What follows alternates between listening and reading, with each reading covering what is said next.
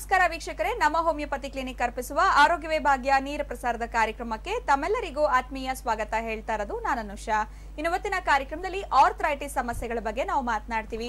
Arthritis ಅಂತಂದ್ರೇನು? Arthritis ಬರೋದಕ್ಕೆ ಕಾರಣಗಳು ಏನಿರಬಹುದು? ಇನ್ನು ಯಾವೆಲ್ಲ ಟೈಪ್ಸ್ ಆಫ್ ಆರ್ಥ್ರೈಟಿಸ್ನ ನೋಡ್ತಾರೆ?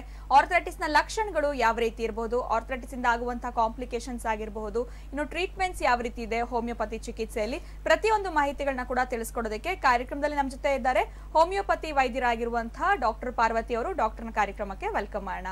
ನಮಸ್ಕಾರ ಕಾರ್ಯಕ್ರಮಕ್ಕೆ ಸ್ವಾಗತ. ಥ್ಯಾಂಕ್ ಯು ವೆರಿ ಮಚ್ ಮೊದಲನಾಗಿ ತಿಳಿಸ್ಕೊಡಿ ಡಾಕ್ಟರ್ ಈ ಆರ್ಥ್ರೈಟಿಸ್ ಅಂತಂದ್ರೆ ಏನು? ಆರ್ಥ್ರೈಟಿಸ್ ಅಂದಾಗ ಸುಮಾರು ಜನ ಪೇಷಂಟ್ಸ್ ಅನ್ಕೊಳ್ತಾರೆ ಅಂದರೆ ರಿಲೇಟೆಡ್ ಟು ಜಾಯಿಂಟೇ ಇರುತ್ತೆ ಅಥವಾ ಈ ಎಲ್ಲ ಕಡೆ ಜಾಯಿಂಟ್ ಪೇನ್ಸ್ ಆಗೋದು ಕೂಡ ಆರ್ಥ್ರೈಟಿಸ್ ಅಥವಾ ಕೆಲವೊಬ್ರಿಗೆ ಇರುತ್ತೆ ಏಜ್ ಆಗಿದ್ಮೇಲೆ ಆರ್ಥ್ರೈಟಿಸ್ ಬರೋದು ಅಂತ. ಅದಕ್ಕಿಂತ ಮುಂಚೆ ನಾವು ಆರ್ಥ್ರೈಟಿಸ್ ಸಿಂಪ್ಟಮ್ಸ್ ಬರೋದಿಲ್ಲ ಆರ್ಥ್ರೈಟಿಸ್ ಇರೋದಿಲ್ಲ. ಆರ್ಥ್ರೈಟಿಸ್ ಅಂದಿದ ತಕ್ಷಣ ಮ್ಯಾಕ್ಸಿಮಮ್ ಪೇಷಂಟ್ಸಿಗೆ ಅರ್ಥ ಆಗೋದು ಏಜ್ ರಿಲೇಟೆಡ್ ಅಂದರೆ ಆಸ್ಟಿಯೋ ಆರ್ಥ್ರೈಟಿಸೇ ಬರುತ್ತೆ ಕಾಮನ್ ಆಗಿ ಎಲ್ರಿಗೂ ಸಹ ಫಿಫ್ಟಿ ಫೈವ್ ಸಿಕ್ಸ್ಟಿ ಇಯರ್ಸ್ ನಂತರನೇ ಈ ಆರ್ಥ್ರೈಟಿಸ್ ಬರೋದು. ಸೊ ಅಲ್ಲಿವರೆಗೂ ಕೂಡ ಆರ್ಥ್ರೈಟಿಸ್ ಅಂಶಗಳು ಬರೋದಿಲ್ಲ, ನಿಮಗೆ ಕಾಡೋದಿಲ್ಲ ಅಂತ ಅಂದ್ಕೊಳ್ತಾರೆ but other system of arthritis ಇರುತ್ತೆ. ಸುಮಾರು ಟೈಪ್ಸಲ್ಲಿ ಇರುತ್ತೆ ನಿಮಗೆ ಆರ್ಥ್ರೈಟಿಸಲ್ಲಿ ಯಾಕಂದರೆ ಪ್ರತಿಯೊಂದು ಆರ್ಥ್ರೈಟಿಸ್ ಅಂದಾಗ ಈಗ ಜಾಯಿಂಟ್ ರಿಲೇಟೆಡ್ ಇರುತ್ತೆ. ಎಲ್ಲೇ ನೀವು ಜಾಯಿಂಟ್ ನೋಡ್ತೀರಾ, ಅಲ್ಲಿ ಇನ್ಫ್ಲಮೇಷನ್ ಆಗ್ತಾ ಇದೆ. ಅಥವಾ ಅಲ್ಲಿ ಇನ್ಫೆಕ್ಷನ್ಸ್ ಕೂಡಿರೋದ್ರಿಂದ ನಿಮಗೆ ಏನಾದರೂ ಒಳಗಡೆ ಬೋನ್ಸಲ್ಲಿ ಜಾಯಿಂಟ್ಸಲ್ಲಿ ನಿಮಗೆ ಕಾರ್ಟಿಲೇಜಸ್ ಏನಾದರೂ ಟೇರ್ ಆಗ್ತಾ ಇದೆ ಕಾರ್ಟಿಲೇಜಸ್ ಸವಿಯಕ್ಕೆ ಹೋಗ್ತಾ ಇದೆ. ಸೊ ಆವಾಗ ನೀವು ಆರ್ಥ್ರೈಟಿಸ್ ಇನ್ಫ್ಲಮೇಷನ್ ಅಂತ ಹೇಳ್ತೇವೆ ಅಥವಾ ಜಾಯಿಂಟ್ ಇನ್ಫ್ಲಮೇಷನ್ಸ್ ಅಂತ ಹೇಳ್ತೇವೆ. More than ten thousand people ಯಾಕಂದರೆ ಡೇ ಟು ಡೇ ನಾವು ನೋಡ್ತೇವೆ ಪೇಷಂಟ್ ಆರ್ಥ್ರೈಟಿಸ್ ಸುಮಾರು ಜನ ಪೇಷಂಟ್ಸ್ ಇರ್ತಾರೆ. ಸೊ ಯಾವುದು ಆರ್ಥ್ರೈಟಿಸ್ ಇರ್ಬೋದು ಸೋರಿಯಾಟಿಕ್ ಆರ್ಥ್ರೈಟಿಸ್ ಅಂತ ಹೇಳ್ತೇವೆ ರುಮಟೆಡ್ ಆರ್ಥ್ರೈಟಿಸ್ ಅಂತ ಹೇಳ್ತೇವೆ. ಹಲವಾರು ಟೈಪ್ಸ್ ಆಫ್ ಆರ್ಥ್ರೈಟಿಸ್ ಇರುತ್ತೆ. ಅಗೇನ್ ಯಾವ ಜಾಯಿಂಟಿಗೆ ಎಫೆಕ್ಟ್ ಆಗ್ತಾ ಬಂದಿದೆ? ಸ್ಮಾಲ್ ಜಾಯಿಂಟ್ ಎಫೆಕ್ಟೆಡ್ ಇದೆಯಾ? ದೊಡ್ಡ ಜಾಯಿಂಟ್ಸ್ ಎಫೆಕ್ಟೆಡ್ ಇದೆಯಾ? ಆಸ್ಟಿಯೋ ಆರ್ಥ್ರೈಟಿಸ್ ಅಂದಾಗ ಯಾವೆಲ್ಲ ಜಾಯಿಂಟ್ಸಿಗೆ ಎಫೆಕ್ಟ್ ಆಗಿರುತ್ತೆ? ರುಮೆಟೆಡ್ ಆರ್ಥ್ರೈಟಿಸ್ ಅಂದಾಗ ಯಾವೆಲ್ಲ ಜಾಯಿಂಟ್ಸಿಗೆ ಎಫೆಕ್ಟ್ ಆಗುತ್ತೆ? ಎಲ್ಲೇ ಕೂಡ ನೀವು ಜಾಯಿಂಟ್ ಏನು ನೋಡ್ತೀರಾ? ಬಿಕಾಸ್ ಬೋನ್ ಮತ್ತು ಜಾಯಿಂಟ್ ನಾವು ತುಂಬ ಇಂಪಾರ್ಟೆಂಟ್ ಆರ್ಗನ್ಸ್ ಅಂತ ಹೇಳ್ತೇವೆ ಬಾಡಿಯಲ್ಲಿ ಸೊ ಪ್ರತಿಯೊಂದು ಈಗ ನಾವು ಬೋನ್ ತೊಗೊಂಡಾಗ ಅದರಲ್ಲಿ ಕ್ಯಾಲ್ಶಿಯಂ ಆಗ್ಬೋದು ಫಾಸ್ಫರಸ್ ಆಗ್ಬೋದು ಮಲ್ಟಿವಿಟಮಿನ್ಸ್ ಆಗ್ಬೋದು ಮಿನರಲ್ಸ್ ಆಗ್ಬೋದು. ಇದೆಲ್ಲ ಸರಿಯಾಗಿ ನಮ್ಮ ಬಾಡಿ ಪ್ರೊಡಕ್ಷನ್ ಆಗ್ತಾ ಇದೆ ಅಂದಾಗ ನಿಮ್ಮ ಬೋನ್ ಡೆನ್ಸಿಟಿ ಬೆಟರ್ ಆಗಿರುತ್ತೆ. ಆಮೇಲೆ ಜಾಯಿಂಟ್ ನಿಮಗೆ ಫ್ಲೆಕ್ಸಿಬಿಲಿಟಿ ಇಂಪ್ರೂವ್ ಆಗ್ತಾ ಬರುತ್ತೆ. ಜಾಯಿಂಟಲ್ಲೂ ಕೂಡ ನಿಮಗೆ ಎರಡು ಬೋನ್ ಜಾಯಿಂಟ್ ಆದಾಗ ಅದು, ಆ ಥರ, ಅದು ಅಥವಾ ಜಾಯಿಂಟ್ ಅಂತ ನಾವು ಹೇಳ್ತೇವೆ. ಸೊ ಎರಡು ಬೋನ್ ಹತ್ತಿರ ಇದ್ದಾಗ ನಿಮಗೆ ನಡುವೆ ನಾವು ಸೈನೋವಿಯಲ್ ಫ್ಲೂಯಿಡ್ ಅಂತ ಹೇಳ್ತೇವೆ. ಸೊ ಈ ಸೈನೋವಿಯಲ್ ಫ್ಲೂಯಿಡಲ್ಲಿ ಏನಾದರೂ ಇನ್ಫೆಕ್ಷನ್ಸ್ ನೋಡ್ತಾ ಇದ್ದೀರಾ? ಈ ಜಾಯಿಂಟನ್ನೇ ಕೂಡ ಎರಡು ಬೋನ್ನ ಹಿಡ್ಕೊಳ್ಳೋದು ನಿಮಗೆ ಲಿಗಮೆಂಟ್ಸ್ ಇರುತ್ತೆ ಕಾರ್ಟಿಲೇಜಸ್ ಇರುತ್ತೆ. ಸೊ ಹತ್ರ ನೇಬರಿಂಗ್ ಆರ್ಗನ್ಸಲ್ಲಿ ನೇಬರಿಂಗ್ ಟಿಶ್ಯೂಸಲ್ಲಿ ನಾವೇನು ನೋಡ್ತೇವೆ? ಈ ಲಿಗಮೆಂಟ್ಸ್ ಆಗ್ಬೋದು ಮಿನಿಸ್ಕಾಯ್ ಅಂತ ಹೇಳ್ತೇವೆ. ಸೊ ಇದು ಎಲ್ಲನೂ ಅಲ್ವಾ ಜಾಯಿಂಟಿಗೆ ನಿಮಗೆ ಇಂಟ್ಯಾಕ್ಟ್ ಆಗಿಡೋದಕ್ಕೆ ಸ್ಟ್ರೆಂತ್ ಕೊಡೋದಕ್ಕೆ ಇರುತ್ತೆ. ಈ ಜಾಯಿಂಟ್ ನಡುವೆ, ಅಂದರೆ ಎರಡು ಬೋನ್ಗಳ ನಡುವೆ ನಿಮಗೆ ಇನ್ಫೆಕ್ಷನ್ಸ್ ಕಾಣ್ಕೊಳ್ತಾ ಇದೆ. ಯಾವುದೇ ರೀತಿ ಬ್ಲಡ್ಡಲ್ಲಿರಬಹುದು ಅಥವಾ ಸೈನೋವೆಲ್ ಫ್ಲೂಯಿಡಲ್ಲಿ ಇನ್ಫ್ಲಮೇಷನ್ಸ್ ನೋಡ್ತೇವೆ ನಾವು. ಸೊ ಇನ್ಫೆಕ್ಷನ್ಸ್ ಆದಾಗ ಆಚೆ ನಿಮಗೆ ಜಾಯಿಂಟ್ ಮೇಲೆ ಅಂದರೆ ನಮ್ಮ ಮಂಡಿಯಲ್ಲಿ ಆಗಿರ್ಬೋದು, ಕೈ ಜಾಯಿಂಟ್ಸಲ್ಲಿ ಆಗ್ಬೋದು. ಸೊ ಆವಾಗ ನಿಮಗೆ ನೋ ಸ್ಟಾರ್ಟ್ ಆಗುತ್ತೆ, ಊತ ಬರುತ್ತೆ. ಅದರಿಂದ ಸ್ಟಿಫ್ನೆಸ್ ನೋಡ್ತೀರಾ? ಸೊ ಸಿಮ್ಟಮ್ಸ್ ನಿಮಗೆ ಕಾಣೋದು ಸೆಕೆಂಡ್ರಿ ಫಸ್ಟ್ ಇಂಟರ್ನಲಿ ಏನಾಗುತ್ತೆ? ನಿಮಗೆ ಇಂಟರ್ನಲ್ ಇನ್ಫ್ಲಮೇಷನ್ ಸ್ಟಾರ್ಟ್ ಆಗ್ತಾ ಬರುತ್ತೆ ಇನ್ಫೆಕ್ಷನ್ ಸ್ಟಾರ್ಟ್ ಆಗ್ತಾ ಬರುತ್ತೆ. ಸೊ ಇನ್ಫೆಕ್ಷನ್ಸ್ ಹೇಗೆ ಬರುತ್ತೆ? ಅಥವಾ ಯಾವ ಕಾರಣದಿಂದ ಬರೋದು? ಯಾಕಂದರೆ ರೀಸನ್ಸ್ ನಾವು ನೋಡ್ತಾ ಹೋದಾಗ ಒಂದು ನಿಮಗೆ ಏಜ್ ರಿಲೇಟೆಡ್ ಇರುತ್ತೆ. ಎಲ್ಡರ್ಲಿ ಪೀಪಲಲ್ಲಿ ನಾವು ಸಿಕ್ಸ್ಟಿ ಫಿಫ್ಟಿ ಫೈವ್ ಪ್ಲಸ್ ಪೇಷಂಟ್ಸಲ್ಲಿ ಏನು ನೋಡ್ತೇವೆ ಏಜ್ ರಿಲೇಟೆಡ್ ಅದು ಆಸ್ಟಿಯೋ ಆರ್ಥರೈಟಿಸ್ ರಿಲೇಟೆಡ್ ಇರುತ್ತೆ. ಸೊ ಎಲ್ಲೇ ಈ ಜಾಯಿಂಟ್ಸ್ ಎಫೆಕ್ಟ್ ಆಗ್ತಿದೆ? So above age fifty five age ನಂತರ ನಿಮಗೆ ಜಾಯಿಂಟಲ್ಲಿ ಇನ್ಫ್ಲಮೇಷನ್ಸ್ ಆಗ್ತಾ ಇದೆ ನೋವು ಆಗ್ತಿದೆ ಅಂದಾಗ ಮ್ಯಾಕ್ಸಿಮಮ್ ಅದು ನಾವು ಮಂಡಿಯಲ್ಲಿ ನೋಡ್ತೇವೆ. ಸೊ ನೀ ಜಾಯಿಂಟಲ್ಲಿ ಎಫೆಕ್ಟ್ ಆಗಿರುತ್ತೆ. ಸೊ ಇದನ್ನು ನಾವು ಆಸ್ಟಿಯೋ ಆರ್ಥ್ರೈಟಿಸ್ ಅಂತ ಹೇಳಿರ್ತೇವೆ. ಅಗೇನ್ ಆರ್ಥ್ರೈಟಿಸ್ ಬರೋದಕ್ಕೆ. ಸೊ ಆರ್ಥ್ರೈಟಿಸ್ ಅಂತ ನಾವು ಯಾವಾಗ ಹೇಳ್ತೇವೆ? ಸೊ ಆರ್ಥ್ರೈಟಿಸ್ ಅಂದಾಗ ನಿಮಗೆ ಐಟಿಸ್ ಏನಿದೆ? ಇನ್ಫ್ಲಮೇಷನ್ ಅಂತ ತೋರಿಸುತ್ತೆ. ಜಾಯಿಂಟ್ ನಡುವೆ ಇನ್ಫ್ಲಮೇಷನ್ ತೋರಿಸ್ತಾ ಇದ್ದರೆ ನಾವು ಇದನ್ನು ಆರ್ಥ ಆರ್ಥ್ರೈಟಿಸ್ ಅಂತ ಹೇಳ್ತೇವೆ. ನಾರ್ಮಲ್ ಆಗಿ ಪ್ರತಿಯೊಬ್ಬರಿಗೂ ಜಾಯಿಂಟ್ ಪೇನ್ಸ್ ಬರುತ್ತೆ ಅಥವಾ ಫೀವರ್ ಕಂಡೀಷನ್ಸಲ್ಲೂ ಕೂಡ. ಈಗ ಜ್ವರ ಬಂದಿದೆ, ಒಂದು ತ್ರೀ ಫೋರ್ ಡೇಸಿಂದ ಫೀವರ್ ಇದೆ. ಸೊ ಆಟೋಮೆಟಿಕ್ಕಾಗಿ ಬಾಡಿ ಪೇನ್ ಕಂಪ್ಲೀಟ್ ಆಗಿರುತ್ತೆ. ಬಾಡಿ ಪೇನ್ ಜೊತೆಗೆ ಜಾಯಿಂಟ್ ಪೇನ್ಸ್ ಬರ್ತಾ ಹೋಗುತ್ತೆ. ಸೊ ಇದನ್ನು ಕೂಡ ನಾವು ಆರ್ಥರೈಟಿಸ್ ಅಂತಲೇ ಹೇಳ್ತೇವೆ. ಸೊ ಇದು ಯಾವ ಏಜಲ್ಲಿ ಬರುತ್ತೆ, ಯಾವುದಾದ್ರೂ ಕೂಡ ಇರ್ಬೋದು. ಟ್ವೆಂಟಿ ಏಜಲ್ಲೂ ಕಾಣಿಸುತ್ತೆ ಸಿಕ್ಸ್ಟಿ ಏಜಲ್ಲೂ ಕೂಡ ಕಾಣಿಸ್ಕೊಳ್ಳುತ್ತೆ. ಸೊ ವೈರಲ್ ಆರ್ಥರೈಟಿಸ್ ಆಗ್ಬೋದು. ಅಥವಾ ಈಗ ಚಿಕನ್ ಅಂತ ಬಂದಿದೆ, ಅಥವಾ ಡೆಂಗು ಕಂಪ್ಲೇಂಟ್ಸಲ್ಲಿ ತೊಗೊಳ್ಳಿ ಟೈಫಾಯ್ಡ್ ಕಂಪ್ಲೇಂಟ್ಸಲ್ಲಿ ತೊಗೊಳ್ಳಿ, ಈ ಜ್ವರಗಳಲ್ಲೂ ಕೂಡ ನಿಮಗೆ ಜಾಯಿಂಟ್ ಪೇನ್ ಸ್ಟಾರ್ಟ್ ಆಗುತ್ತೆ. ಯಾಕಂದರೆ ಜಾಯಿಂಟಲ್ಲಿ ಇನ್ಫ್ಲಮೇಷನ್ಸ್ ಆಗೋದು ಸೊ ಇನ್ಫ್ಲಮೇಷನ್ಸ್ ಕಡಿಮೆ ಆಗ್ತಾ ಬಂದಾಗ ನಿಮಗೆ ಜಾಯಿಂಟ್ ಇನ್ಫ್ಲಮೇಷನ್ಸ್ ಕಡಿಮೆ ಆಗಿಬಿಟ್ಟು ನೋವು ಸ್ಟಿಫ್ನೆಸ್ ಎಲ್ಲ ಕಡಿಮೆ ಆಗ್ತಾ ಬರುತ್ತೆ. ಸೊ ಅಗೇನ್ ಏಜ್ ರಿಲೇಟೆಡ್ ಇರುತ್ತೆ ಇದು. ಸೊ ಏಜ್ ರಿಲೇಟೆಡ್ ನಾವು ಮಾತಾಡಬೇಕಾದಾಗ ನಾವು ಟೈಪ್ಸನ್ನು ಕೂಡ ಆ ಥರನೇ ಡಿವೈಡ್ ಮಾಡ್ತಾ ಹೋಗ್ತೇವೆ. ಓಕೆ ವೀಕ್ಷಕರ ಇವತ್ತಿನ ಕಾರ್ಯಕ್ರಮದಲ್ಲಿ ಆರ್ಥ್ರೈಟಿಸ್ ಸಮಸ್ಯೆಗಳ ಬಗ್ಗೆ ಮಾತನಾಡ್ತಾ ಇದೀವಿ. ನೀವು ಕೂಡ ಈ ಒಂದು ಆರ್ಥ್ರೈಟಿಸ್ ಸಮಸ್ಯೆಗಳಿಂದ ಸಫರ್ ಆಗ್ತಿದ್ದಲ್ಲಿ ಕಾರ್ಯಕ್ರಮಕ್ಕೆ ಕರೆಗಳನ್ನ ಮಾಡಬಹುದು ಇನ್ನು ಕಾರ್ಯಕ್ರಮದಲ್ಲಿ ಕಾಲರ್ ವೆಯ್ಟ್ ಮಾಡ್ತಿದ್ದಾರೆ ಮಾತಾಡ್ಸೋಣ. ಹಲೋ ನಮಸ್ಕಾರ ಹೇಳಿ ಯಾರು ಮಾತಾಡ್ತಿರೋದು? Hello? ತಮ್ಮ ಹೆಸರು ಸರ್ ಹಲೋ ತಮ್ಮ ಹೆಸರು ಸರ್ ಸಂತೋಷ್ ಅಂತ ಮೇಡಮ್ ಯಾವರಿಂದ ಕರೆ ಮಾಡ್ತಿದ್ದೀರಾ ಸಂತೋಷ್ ಅವರೇ? ನಾವು ಬೆಂಗಳೂರಿಂದ. ಮೇಡಮ್ ಮಾತಾಡಿ ಸರ್ ಡಾಕ್ಟರ್ ಪಾರ್ವತಿ ಅವರಿದ್ದಾರೆ ಪ್ರಶ್ನೆ ಕೇಳಿ. ಹೌದು ಮೇಡಮ್ ಹಲೋ. ಹಲೋ. ಸಂತೋಷ್ ಅವರೇ ಹೇಳಿ. ಮೇಡಮ್ ನಮ್ಮ ಒಂದ್ ಸೈಡ್ ಮಂಡಿ ಕಡೆ ನಮಗೆ ಪೇನ್ ಬರ್ತಾ ಇದೆ ಜಾಸ್ತಿ ಒಂದೇ ಸೈಡ್ ಓಕೆ ಯಾವ ಕಡೆ? ಬರ್ತಾ ಇದೆ ಹೇಳಿ? ಎಡಗಡೆ ಎಡಗಡೆ ಕಾಲಲ್ಲಿ ಎಡಗಡೆ ಲೆಫ್ಟ್ ಸೈಡ್ ಓಕೆ ಏನಾದ್ರೂ ಬಿದ್ದಿರೋದಿದ್ಯಾ ನೀವು? ಯಾವಾಗಾದ್ರೂ ಬಿದ್ದಿರೋದು ಇಂಜುರಿ ಡಾಕ್ಟರ್ ಆಗಿರೋದು ಹತ್ರ ತಗೊಂಡು ಹೋಗಿದ್ದು ಒಂದ್ಸಲ. ಅವ್ರೇನು ತೊಂದ್ರೆ ಏನಿಲ್ಲ ಮಸಲ್ಸ್ ಪೇನ್ ಅಂತ ಹೇಳ್ತಾ ಇದ್ರು. ಹೌದು, ಇಲ್ಲಿ ನೋಡಿ ಪ್ರತಿಯೊಂದು ಅಲ್ವಾ, ಈಗ ನಿಮಗೆ ಜಾಯಿಂಟ್ ಪೇನ್ ಆಗ್ತಾ ಇದೆ ಅಂದಿದ ತಕ್ಷಣ ಅಲ್ವಾ ಜಾಯಿಂಟ್ ಆರ್ಥರೈಟಿಸೇ ಇರಬೇಕು ಅಂತ ಇರೋದಿಲ್ಲ. ಮಸ್ಕ್ಯುಲರ್ ಪೇನ್ ಇತ್ತಂದ್ರೂ ಕೂಡ ನಿಮಗೆ ನೋವು ಬರುತ್ತೆ. ಅಲ್ಲಿ ಜಾಯಿಂಟ್ ಹತ್ತಿರದಲ್ಲಿ ನೀವೇನು ನೋಡ್ತೀರಾ ಮಸಲ್ಸ್ ನೋಡ್ತೀರಾ ಟೆಂಡಾನ್ಸ್ ನೋಡ್ತೀರಾ ಲಿಗಮೆಂಟ್ಸ್ ಅಂತ ಹೇಳ್ತೇವೆ. ಸೊ ಇದು ಯಾವುದರಲ್ಲೂ ಕೂಡ ಏನಾದರೂ ಇನ್ಫ್ಲಮೇಷನ್ಸ್ ಆದರೆ ಮಸಲಲ್ಲಿ ಟೆನ್ಷನ್ಸ್ ಜಾಸ್ತಿ ಆದಾಗ ಮಸಲ್ ಟೆನ್ಷನ್ಸ್ ಜಾಸ್ತಿ ಆದಾಗ ಸ್ಟ್ರೆಸ್ ಜಾಸ್ತಿ ಆದಾಗ ಮಸಲ್ ಮೇಲೆ ಈ ಥರ ನೋವು ನೋಡ್ತೀರಾ. ಇದಕ್ಕೂ ಕೂಡ ಅಲ್ವಾ, ನೀವು ಪೇನ್ ಕಿಲ್ಲರ್ ಅನ್ನೋ ಮೆಡಿಸಿನ್ಸ್ ಏನಾದರೂ ತೊಗೊಂಡ್ರೆ ಟೆಂಪ್ರವರಿ ಹೀಲ್ ಆಗುತ್ತೆ. ಬಟ್ ಮಸಲ್ ಸ್ಟ್ರೆಂತಿಗೆ ತೊಗೊಳೋದು ಇಂಪಾರ್ಟೆಂಟ್ ಆಗುತ್ತೆ. ಸೊ ಹೋಮಿಯೋಪತಿಕ್ ಮೆಡಿಸಿನ್ಸ್ ನೀವು ಮಾಡ್ತಾ ಬಂದರೆ ಮಸಲ್ ಟೆನ್ಷನ್ಸ್ ಇಂಪ್ರೂವ್ ಮಾಡುತ್ತೆ ಮಸಲ್ದು ಸ್ಟ್ರೆಂಥನಿಂಗ್ ಪವರ್ ಇಂಪ್ರೂವ್ ಆಗ್ತಾ ಬರುತ್ತೆ ಆಟೋಮೆಟಿಕ್ ಆಗಿ ನಿಮಗೆ ನೋವು ಕಂಪ್ಲೀಟ್ ಆಗಿ ವಾಸಿ ಆಗುತ್ತೆ. ಓಕೆ ಧನ್ಯವಾದಗಳು ಸಂತೋಷ್ ಕರೆ ಮಾಡಿದ್ದಕ್ಕೆ. ನೇರವಾಗಿ ಬಂದು ವೈದ್ಯರನ್ನ ಭೇಟಿ ಮಾಡಬಹುದು. ನಮ್ಮ ಹೋಮಿಯೋಪತಿ ಕ್ಲಿನಿಕ್ನ ಫೋನ್ ನಂಬರ್ಸ್ ಟಿವಿ ಸ್ಕ್ರೀನ್ ಮೇಲೆ ಬರ್ತಾ ಇದೆ. ಕರೆ ಮಾಡಿ ನೀವು ಅಪಾಯಿಂಟ್ಮೆಂಟ್ನ ಪಡ್ಕೊಳ್ಬೇಕಾಗತ್ತೆ. ಬೆಂಗಳೂರು, ಮೈಸೂರು, ಹುಬ್ಳಿ, ದಾವಣಗೆರೆ, ಕಲಬುರಗಿಯಲ್ಲಿ ನಮ್ಮ ಹೋಮಿಯೋಪತಿ ಕ್ಲಿನಿಕ್ ಇದೆ. ನೇರವಾಗಿ ಬಂದು ಚಿಕಿತ್ಸೆಗಳನ್ನ ಪಡ್ಕೊಳ್ಬಹುದು ಇನ್ನು ಕಾರ್ಯಕ್ರಮದಲ್ಲಿ ಆರ್ಥ್ರೈಟಿಸ್ ಸಮಸ್ಯೆಗಳ ಬಗ್ಗೆ ಮಾತನಾಡ್ತಾ ಇದೀವಿ. ಆರ್ಥ್ರೈಟಿಸ್ ಅಂತ ಅಂದ್ರೆ ಏನು ಅನ್ನೋದ್ರ ಬಗ್ಗೆ ತಿಳಿಸ್ತಾ ಇದ್ರು. ಇನ್ನು ಯಾವೆಲ್ಲ ಟೈಪ್ಸ್ ಆಫ್ ಆರ್ಥ್ರೈಟಿಸ್ನ ಇತ್ತೀಚಿನ ದಿನಗಳಲ್ಲಿ ನೋಡ್ತಾ ಇದ್ದಾರೆ, ಇದ್ರ ಬಗ್ಗೆ ಡಾಕ್ಟರ್ ಏನ್ ಹೇಳ್ತಾರೆ? ಬನ್ನಿ ಕೇಳೋಣ. ಸೊ ಯಾವೆಲ್ಲ ಟೈಪ್ಸ್ ಆಫ್ ಆರ್ಥ್ರೈಟಿಸ್ನ ನೋಡ್ತಾ ಇದ್ದೀರಾ ಡಾಕ್ಟರ್ ಮ್ಯಾಕ್ಸಿಮಮ್ ಪೇಷಂಟ್ಸ್ ಅಂದರೆ ಎವರ್ ನೀವು ನೋಡ್ತಾ ಇರೋ ಪೇಷಂಟ್ಸ್ ಅಲ್ವಾ? ನೀವು ಆಸ್ಟಿ ಆರ್ಥ್ರೈಟಿಸೇ ನೋಡಿರ್ತೀರಾ? Because age related factor arthritis ಏನಿರುತ್ತೆ ಸೊ ಫಿಫ್ಟಿ ಫೈವ್ ಏಜ್ ಆಗಿದ್ಮೇಲೆ ಸಿಕ್ಸ್ಟಿ ಏಜ್ ಆಗಿದ್ಮೇಲೆ, ಅಥವಾ ಫೀಮೇಲ್ಸಲ್ಲಿ ಮೆನೋಪಾಸಲ್ ಏಜ್ ಅಂತ ಹೇಳ್ತೇವೆ. ಅಂದರೆ ಫಾರ್ಟಿ ಫೈವ್ ಪ್ಲಸ್ ಆಗಿದ್ಮೇಲೆ, ಯಾವಾಗ ಇವ್ರದ್ದು ಮುಟ್ಟು ಸ್ಟಾಪ್ ಆಗ್ತಾ ಬರುತ್ತೆ, ಕಡಿಮೆ ಆಗ್ತಾ ಬರುತ್ತೆ ಇರ್ರೆಗ್ಯುಲರ್ ಆಗ್ತಾ ಬರುತ್ತೆ ತ್ರೀ ಮಂತ್ಸ್ ಒನ್ಸ್ ಆಗ್ತಾರೆ ಸಿಕ್ಸ್ ಮಂತ್ಸ್ ಒನ್ಸ್ ಆಗ್ತಾರೆ. ಸೊ ಈ ಟೈಮಲ್ಲೂ ಕೂಡ ಇವ್ರ ಬಾಡಿನಲ್ಲಿ ಹಾರ್ಮೋನ್ಗಳ ವ್ಯತ್ಯಾಸದಿಂದ ಮತ್ತು ಈವನ್ ಮೇಲ್ಸಲ್ಲೂ ಕೂಡ. ಸೊ ಪುರುಷರಲ್ಲೂ ತರ್ಟಿ ಫೈವ್ ಫಿಫ್ಟಿ ಫೈವ್ ಆಗಿದ್ಮೇಲೆ. ಸೊ ಆವಾಗ ಹಾರ್ಮೋನಲ್ ಚೇಂಜಸ್ಸು ಆಗ್ತಾ ಇರುತ್ತೆ. And again related to wear and tear ಅಂತ ಹೇಳ್ತೇವೆ. ಅಂದರೆ ಲಾಂಗ್ ಇಯರ್ಸಿಂದ ಆಲ್ಮೋಸ್ಟ್ ಫಿಫ್ಟೀನ್ ಇಯರ್ಸ್ ಟ್ವೆಂಟಿ ಇಯರ್ಸಿಂದ ಕೆಲಸ ಮಾಡ್ತಿರ್ತಾರೆ. ಸೊ ತುಂಬಾ ಈಗ ವಾಕ್ ಮಾಡಬೇಕಾದಾಗೂ ನಾವು ಎಲ್ಲರೂ ಕಂಪ್ಲೀಟಾಗಿ ಕಂಪಲ್ಸರಿ ಹೇಳ್ತಾರೆ. ನಾರ್ಮಲ್ ಆಗಿ ನೀವು ಬ್ಲ ಬಾಡಿ ಫಿಟ್ನೆಸ್ ಇಟ್ಕೊಳ್ಬೇಕಾದ್ರೆ ವಾಕಿಂಗ್ ಮಾಡ್ಕೊಳ್ಳೇಬೇಕು ಅಂತ. ಸೊ ಇನ್ನೂ ಜಾಸ್ತಿ ಅಂದರೆ ನಮ್ಮ ಆಕ್ಯುಪೇಷ್ನಲಲ್ಲಿ ಈಗ ಡ್ರೈವರ್ಸ್ ಆಗ್ಬೋದು ಟೀಚರ್ಸ್ ಆಗಿರಬಹುದು ಸೆಕ್ಯೂರಿಟಿ ಗಾರ್ಡ್ಸ್ ಆಗಿರಬಹುದು long ರನ್ನಲ್ಲಿ twenty to thirty years almost ನಿಂತ್ಕೊಂಡೇ ಕೆಲಸ ಮಾಡಿರ್ತಾರೆ. ಸೊ ಈ ಥರ ಪೇಷಂಟ್ಸ್ ಅವರಿಗೆ ಜಾಯಿಂಟ್ ಮೇಲೆ ಒಂದು ಪ್ರೆಷರ್ ಜಾಸ್ತಿ ಆಗಿರುತ್ತೆ. ಯಾಕಂದರೆ ನಮ್ಮ ಬಾಡಿ ವೇಟ್ ಏನಿದೆ? ಸೊ ಕಂಪ್ಲೀಟಾಗಿ ಬಾಡಿ ವೇಟ್ ಮೇಂಟೈನ್ ಮಾಡೋದೇ ನಮ್ಮ ನೀ ಜಾಯಿಂಟ್ಸ್ ಅಂತ ನಾವು ಹೇಳ್ತೇವೆ. ಹಿಪ್ ಜಾಯಿಂಟ್ ಮತ್ತು ನೀ ಜಾಯಿಂಟ್ಸ್ ಈ ನೀ ಜಾಯಿಂಟ್ಸ್ಗಳ ಮೇಲೇ ನಮ್ಮ ಬಾಡಿ ವೇಟ್ ಇರುತ್ತೆ. ಅದ್ರ ಮೇಲೆ ನಡೆಯೋದಾಗಲಿ, ಯಾಕಂದರೆ ಜಾಯಿಂಟದ್ದು ಮೇನ್ ಫಂಕ್ಷನ್ಸ್ ಏನಿರುತ್ತೆ ನಿಮ್ಮ ಬಾಡಿ ಫ್ಲೆಕ್ಸಿಬಿಲಿಟಿ ಮೇಂಟೈನ್ ಮಾಡೋದಲ್ಲದೇ ಇಂಟರ್ನಲ್ಲಿ ಮೆಟಬಾಲಿಸಮು ಕರೆಕ್ಟಾಗಿರೋದಕ್ಕೆ ಜಾಯಿಂಟ್ ತುಂಬಾ ಇಂಪಾರ್ಟೆಂಟ್ ಸೊ ಜಾಯಿಂಟ್ ನಿಮಗೆ ವೀಕ್ನೆಸ್ ಆಗ್ತಾ ಇದೆ ಜಾಯಿಂಟ್ ಕಡಿಮೆ ಆಗ್ತಾ ಇದೆ, ನಿಮಗೆ ಸ್ಟ್ರೆಂಥನಿಂಗ್ ಅಂತಂದಾಗ ಆಟೋಮೆಟಿಕ್ ನಿಮ್ಮ ಲೈಫ್ ಸ್ಟೈಲನ್ನೇ ಚೇಂಜ್ ಮಾಡುತ್ತೆ. ಸೊ ಓಡಾಡಿದ್ರಲ್ಲೆಲ್ಲ ಪ್ರಾಬ್ಲಮ್ ಸ್ಟಾರ್ಟ್ ಆಗ್ತಾ ಬರುತ್ತೆ. ನಿಮಗೆ ಒಂದೇ ಕಡೆ ಕೂತ್ಕೊಳ್ಳೋವಂಥದ್ದು, ಅಂದರೆ ಮೊಬಿಲಿಟಿ ರೆಡ್ಯೂಸ್ ಆಗ್ತಾ ಬರುತ್ತೆ. ನೀವು ಓಡಾಡೋಕ್ಕೆ ಸ್ಟಾರ್ಟ್ ಮಾಡೋದು ಎಲ್ಲ ರೆಡ್ಯೂಸ್ ಆಗ್ತಾ ಬರುತ್ತೆ. ಅದಕ್ಕಾಗಿ ಸುಮಾರು ಜನ ಪೇಷಂಟ್ಸ್ ನಮ್ಮ ಹತ್ರ ಬಂದಾಗೂ ಅಲ್ವಾ ಮೇನ್ ಅವರಿಗೆ ನಡಿಬೇಕು. ಮತ್ತು ಮುಂಚೆ ಥರ ಹೇಗೆ ಓಡಾಡ್ತಾ ಇದ್ರು ಅಥವಾ ಕೆಲಸ ಮಾಡ್ಕೊಳ್ತಾ ಇದ್ರು routine works works like washroom ಹೋಗೋದಾಗಿರಬಹುದು ಅಥವಾ ಮೆಟ್ಲು ಹತ್ತೋದು ಇಳಿಯೋದು ತಗೊಳ್ಳಿ, ಕೆಳಗಡೆ ಕೂತ್ಕೊಳ್ಳೋದಾಗಬಹುದು, ಇದು ಎಲ್ಲದರಲ್ಲೂ ಕೂಡ ಡಿಸ್ಕಂಫರ್ಟ್ ನೋಡಿರ್ತಾರೆ. ಆ್ಯಂಡ್ ಮೇನ್ ಪರ್ಪಸ್ ಪೇಷಂಟ್ಸ್ ಬರೋದು ಅಲ್ವಾ, ಇದೇ ಕಾರಣಕ್ಕಿರುತ್ತೆ ಸೊ ಈಗ ಕೂತ್ಕೊಳ್ಳೋಕೆ ಆಗ್ತಾ ಇಲ್ಲ, ಮೆಟ್ಲು ಹತ್ತೋದಾಗ್ತಾ ಇಲ್ಲ. ವಾಶ್ರೂಮ್ ಹೋದರೂ ಕೂಡ within ten minutes five minutes pain start ಆಗಿಬಿಡುತ್ತೆ. ಜೋಮ್ ಬರೋಕ್ಕೆ ಸ್ಟಾರ್ಟ್ ಆಗುತ್ತೆ ಇನ್ನು ಸ್ವೆಲ್ಲಿಂಗ್ಸ್ ಬರ್ತಾ ಹೋಗುತ್ತೆ. ಯಾಕಂದರೆ ಇದು ಎಲ್ಲ ರಿಲೇಟೆಡ್ ಟು ಏಜು ಇರುತ್ತೆ ನಿಮ್ಮ ಬಾಡಿ ವೇಟಲ್ಲಿ ಇರುತ್ತೆ ಆ್ಯಂಡ್ ಆಲ್ಸೋ ನಿಮ್ಮದು ಬಾಡಿನಲ್ಲಿ ಈಗ ಜಾಯಿಂಟಲ್ಲಿ ಇನ್ಫ್ಲಮೇಷನ್ ಬ್ಲಡ್ ಇನ್ಫ್ಲಮೇಷನ್ಸು ಇರುತ್ತೆ. ಸೊ ಅದಕ್ಕಾಗಿ ಫಸ್ಟ್ ಆಫ್ ಆಲ್ ಕಾಮನೆಸ್ಟ್ ನಾವು ಆರ್ಥ್ರೈಟಿಸ್ ನೋಡೋದೇ ಆಸ್ಟಿ ಆರ್ಥ್ರೈಟಿಸ್ ಸೊ ಇದು ಫಿಫ್ಟಿ ಫೈವ್ ಸಿಕ್ಸ್ಟಿ ಏಜಲ್ಲಿ ಬಂದಿರುತ್ತೆ. ಸೊ ಆವಾಗ ಪೇಷಂಟ್ಸ್ ವೇರ್ ಆ್ಯಂಡ್ ಟೇರ್ ಅಂದರೆ ತುಂಬ ನಡೆದಿರೋದ್ರಿಂದ ಮತ್ತು ತುಂಬ ವಾಕಿಂಗ್ ಮಾಡೋದ್ರಿಂದ ಮತ್ತು ತುಂಬ ಹೊತ್ತು ನಿಂತ್ಕೊಂಡಿರ್ತಾರೆ. ಈ ಥರದ ಪ್ರೊಫೆಷ್ನಲ್ ಇರೋರಿಗೆ ನಾರ್ಮಲಿ ಪ್ರತಿಯೊಬ್ಬರಿಗೂ ಎಲ್ಡರ್ಲಿ ಅಥವಾ ಫಿಫ್ಟಿ ಆಗಿದ್ಮೇಲೆ ಪ್ರತಿಯೊಬ್ಬರಿಗೂ ಕೂಡ ಬರೋದು. ಬಟ್ ಇದರಲ್ಲಿ ಏನಾಗುತ್ತೆ? ನಿಮಗೆ ಆಲ್ಮೋಸ್ಟ್ ಬಾಡಿ ಒಳಗಡೆ ಸೈನೋವಲ್ ಫ್ಲೂಯಿಡ್ ಏನಿರುತ್ತೆ ಜಾಯಿಂಟ್ ನಡುವೆ, ಇದು ಕೂಡ ಕಡಿಮೆ ಆಗ್ತಾ ಬರುತ್ತೆ ಡ್ರೈನೆಸ್ ಆಗಿರುತ್ತೆ. ಸೊ ಅದಕ್ಕಾಗಿ ಕಾಮನ್ ಆಗಿ ನೀವು ಎಕ್ಸ್ರೇ ಮಾಡಿದಾಗೂ ಕೂಡ ಒಳಗಡೆ ಮೂಳೆ ಸವದಿ ಅಂತ ಹೇಳ್ತಾರೆ. ಸೊ ಮೂಳೆ ಸವಿಯೋದು ಅನ್ನೋದಕ್ಕಿಂತಲೂ ಹೊರಗಡೆ ಕಾರ್ಟಿಲೇಜ್ ನಾವೇನು ಹೇಳ್ತೇವೆ? ಸೊ ಕಾರ್ಟಿಲೇಜ್ ನಿಮಗೆ ಟೇರ್ ಆಗ್ತಾ ಬರ್ತಾ ಹೋಗುತ್ತೆ, ಅಂದರೆ ತಳು ಆಗ್ತಾ ಬರುತ್ತೆ.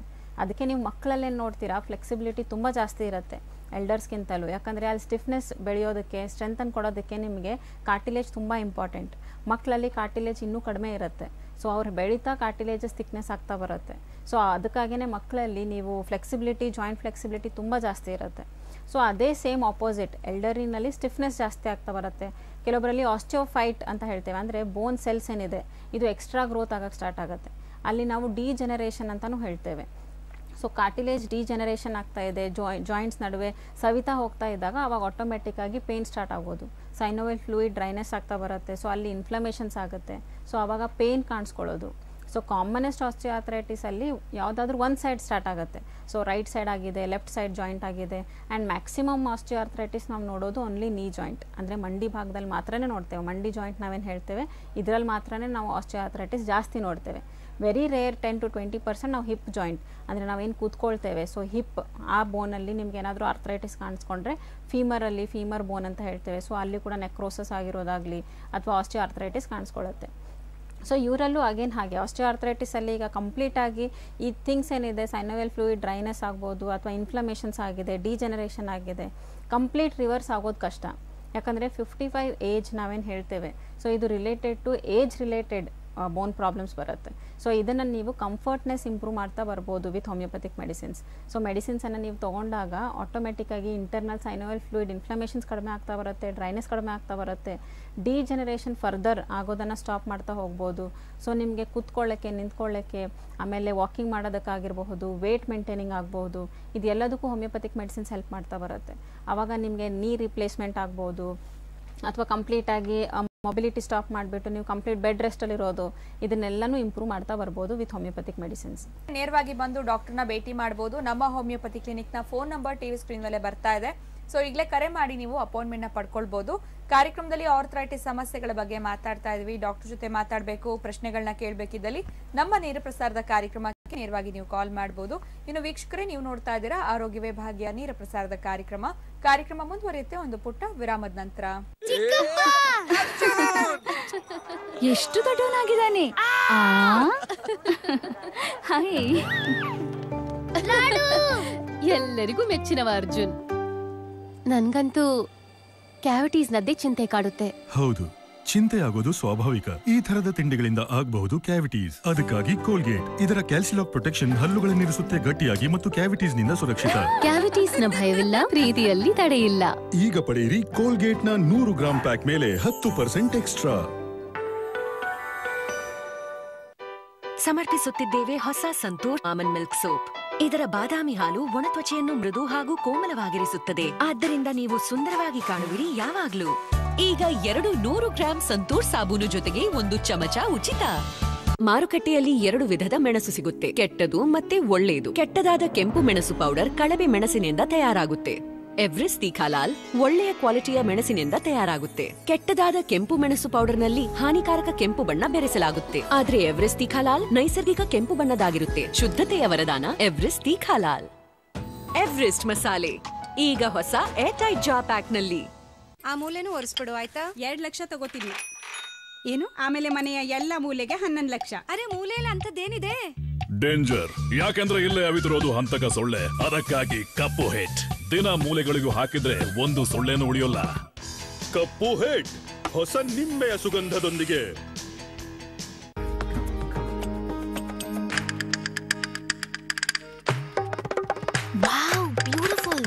ಈ ಸಂಜೆ ನಮ್ ಜೊತೆ ಬಾ. ನಮ್ ಕಡೆ ಎಕ್ಸ್ಟ್ರಾ ಸ್ಟೂಡೆಂಟ್ ಪಾಸ್ ಇದೆ. ಸ್ಟೂಡೆಂಟ್ ಮತ್ತು ನಾನು ಮಮ್ಮಿ?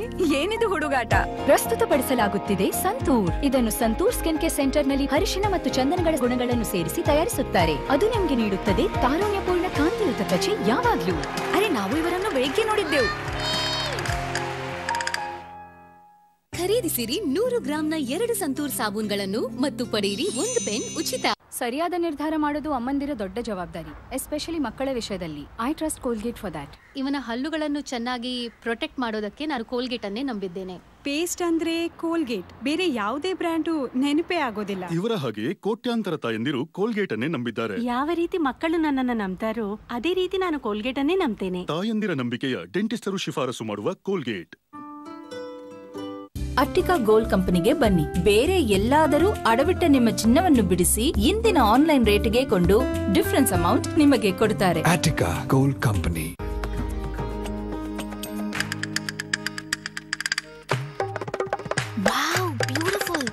ಈ ಸಂಜೆ ನಮ್ ಜೊತೆ ಬಾ. ನಮ್ ಕಡೆ ಎಕ್ಸ್ಟ್ರಾ ಸ್ಟೂಡೆಂಟ್ ಪಾಸ್ ಇದೆ. ಸ್ಟೂಡೆಂಟ್? ಮತ್ತು ನಾನು ಮಮ್ಮಿ? ಏನಿದು ಹುಡುಗಾಟ? ಪ್ರಸ್ತುತಪಡಿಸಲಾಗುತ್ತಿದೆ ಸಂತೂರ್. ಇದನ್ನು ಸಂತೂರ್ ಸ್ಕಿನ್ ಕೇರ್ ಸೆಂಟರ್ನಲ್ಲಿ ಹರಿಶಿನ ಮತ್ತು ಚಂದನಗಳ ಗುಣಗಳನ್ನು ಸೇರಿಸಿ ತಯಾರಿಸುತ್ತಾರೆ. ಅದು ನಿಮಗೆ ನೀಡುತ್ತದೆ ತಾರುಣ್ಯಪೂರ್ಣ ಕಾಂತಿಯುತ ತ್ವಚೆ ಯಾವಾಗ್ಲೂ. ಅರೆ ನಾವು ಇವರನ್ನು ಬೆಳಿಗ್ಗೆ ನೋಡಿದ್ದೆವು.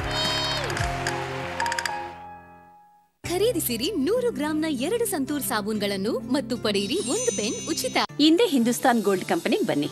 ನಿಮ್ಮಲ್ಲಿರೋ ಹಳೆ ಚಿನ್ನ ಆಗ್ಲಿ ಅಥವಾ ನೀವು ಅಡ ಇಟ್ಟಿರೋ ಚಿನ್ನ ಆಗ್ಲಿ ತಕ್ಷಣ ಬಿಡಿಸಿ ಇಂದಿನ ಆನ್ಲೈನ್ ಬೆಲೆಗೆ ಕೊಂಡುಕೊಂಡು ಕೂಡಲೇ ಬಾಕಿ ಹಣವನ್ನ ನಿಮ್ಮ ಕೈಗಿಡ್ತಾರೆ. ಹಿಂದೂಸ್ತಾನ್ ಗೋಲ್ಡ್ ಕಂಪನಿ, ಇದು ನಿಮ್ಮ ಕಂಪನಿ.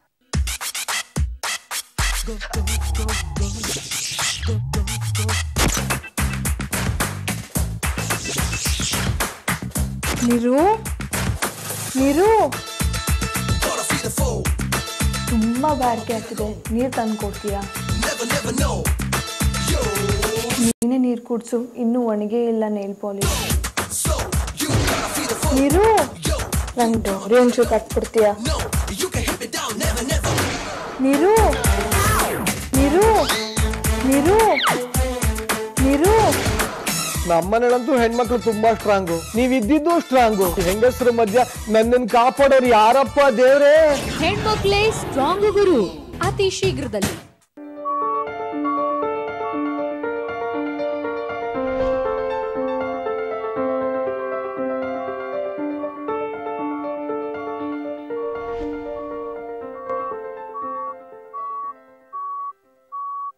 ಆರ್ಥ್ರೈಟಿಸ್ ಸಮಸ್ಯೆಗಳ ಬಗ್ಗೆ ಮಾತಾಡ್ತಾ ಇದೀವಿ. ನೀವು ಕೂಡ ಈ ಒಂದು ಸಮಸ್ಯೆಯಿಂದ ಸಫರ್ ಆಗ್ತಿದ್ದಲ್ಲಿ ಡಾಕ್ಟರ್ ಜೊತೆ ಮಾತಾಡಬೇಕು ಪ್ರಶ್ನೆಗಳನ್ನ ಕೇಳಬೇಕಿದ್ದಲ್ಲಿ ನಮ್ಮ ಕಾರ್ಯಕ್ರಮಕ್ಕೆ ನೇರವಾಗಿ ಕಾಲ್ ಮಾಡಬಹುದು ಇನ್ನು ಡಾಕ್ಟರ್ನ ನೇರವಾಗಿ ಭೇಟಿ ಮಾಡಬೇಕಿದ್ದಲ್ಲಿ ನಮ್ಮ ಹೋಮಿಯೋಪತಿ ಕ್ಲಿನಿಕ್ಗೆ ವಿಸಿಟ್ ಮಾಡಬಹುದು ಇನ್ನು ನಮ್ಮ ನೆಕ್ಸ್ಟ್ ಕಾಲರ್ ಹಲೋ ಹಲೋ ನಮಸ್ಕಾರ ಸರ್ ತಮ್ಮ ಹೆಸರು?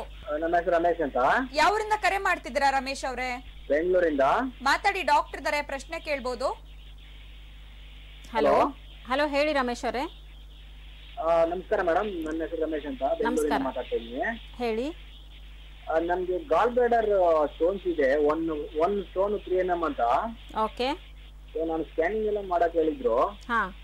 ಮಾಡಿಸಿದವಾಗ ಅದು ನನಗೆ ವಾಮಿಟಿಂಗ್ ಫುಡ್ ನೋಡಿದ್ರೆ ಒಂದು ಸಾಂಬಾರ್ ಸ್ಮೆಲ್ ನೋಡಿದ್ರೆ ಸಿಕ್ಕಾಪಟ್ಟೆ ಅಲರ್ಜಿ ಆಗ್ತದೆ ನನ್ಗೆ ಆಗ್ತಾನೆ ಇರಲಿಲ್ಲ ವಾಮಿಟಿಂಗ್ ಆಗೋದು ಅದು ಇಷ್ಟನೇ ಇರಲಿಲ್ಲ ತಿನ್ನೋದಕ್ಕೆ ಈ ತರ ಆಗ್ತಾ ಇತ್ತು. ಸ್ಕ್ಯಾನಿಂಗ್ ಮಾಡಿಸಿದಾಗ ಎಂ ಸ್ಟೋನ್ ಇದೆ ಆ ಪಿತ್ಕೋಶದಲ್ಲಿ ಅಂತ ಹೇಳಿ ರಿಪೋರ್ಟ್ ಬಂತು.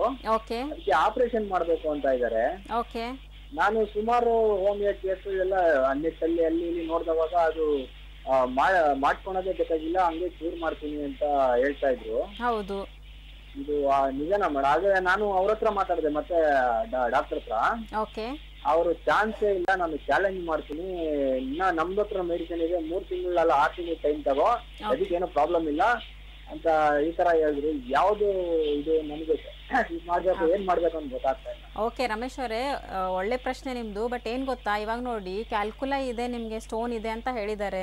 ಸ್ಟೋನ್ ತೆಗಿಯೋದು ತ್ರೀ ಎಂ ಎಂ ಸ್ಟೋನ್ ತೆಗಿಯೋದಿಲ್ಲ ಅವರು. ಸೊ ಕಂಪ್ಲೀಟ್ ಆಗಿ ನಿಮ್ ಗಾಲ್ ಬ್ಲಾಡರ್ ರಿಮೂವ್ ಮಾಡ್ತಾರೆ.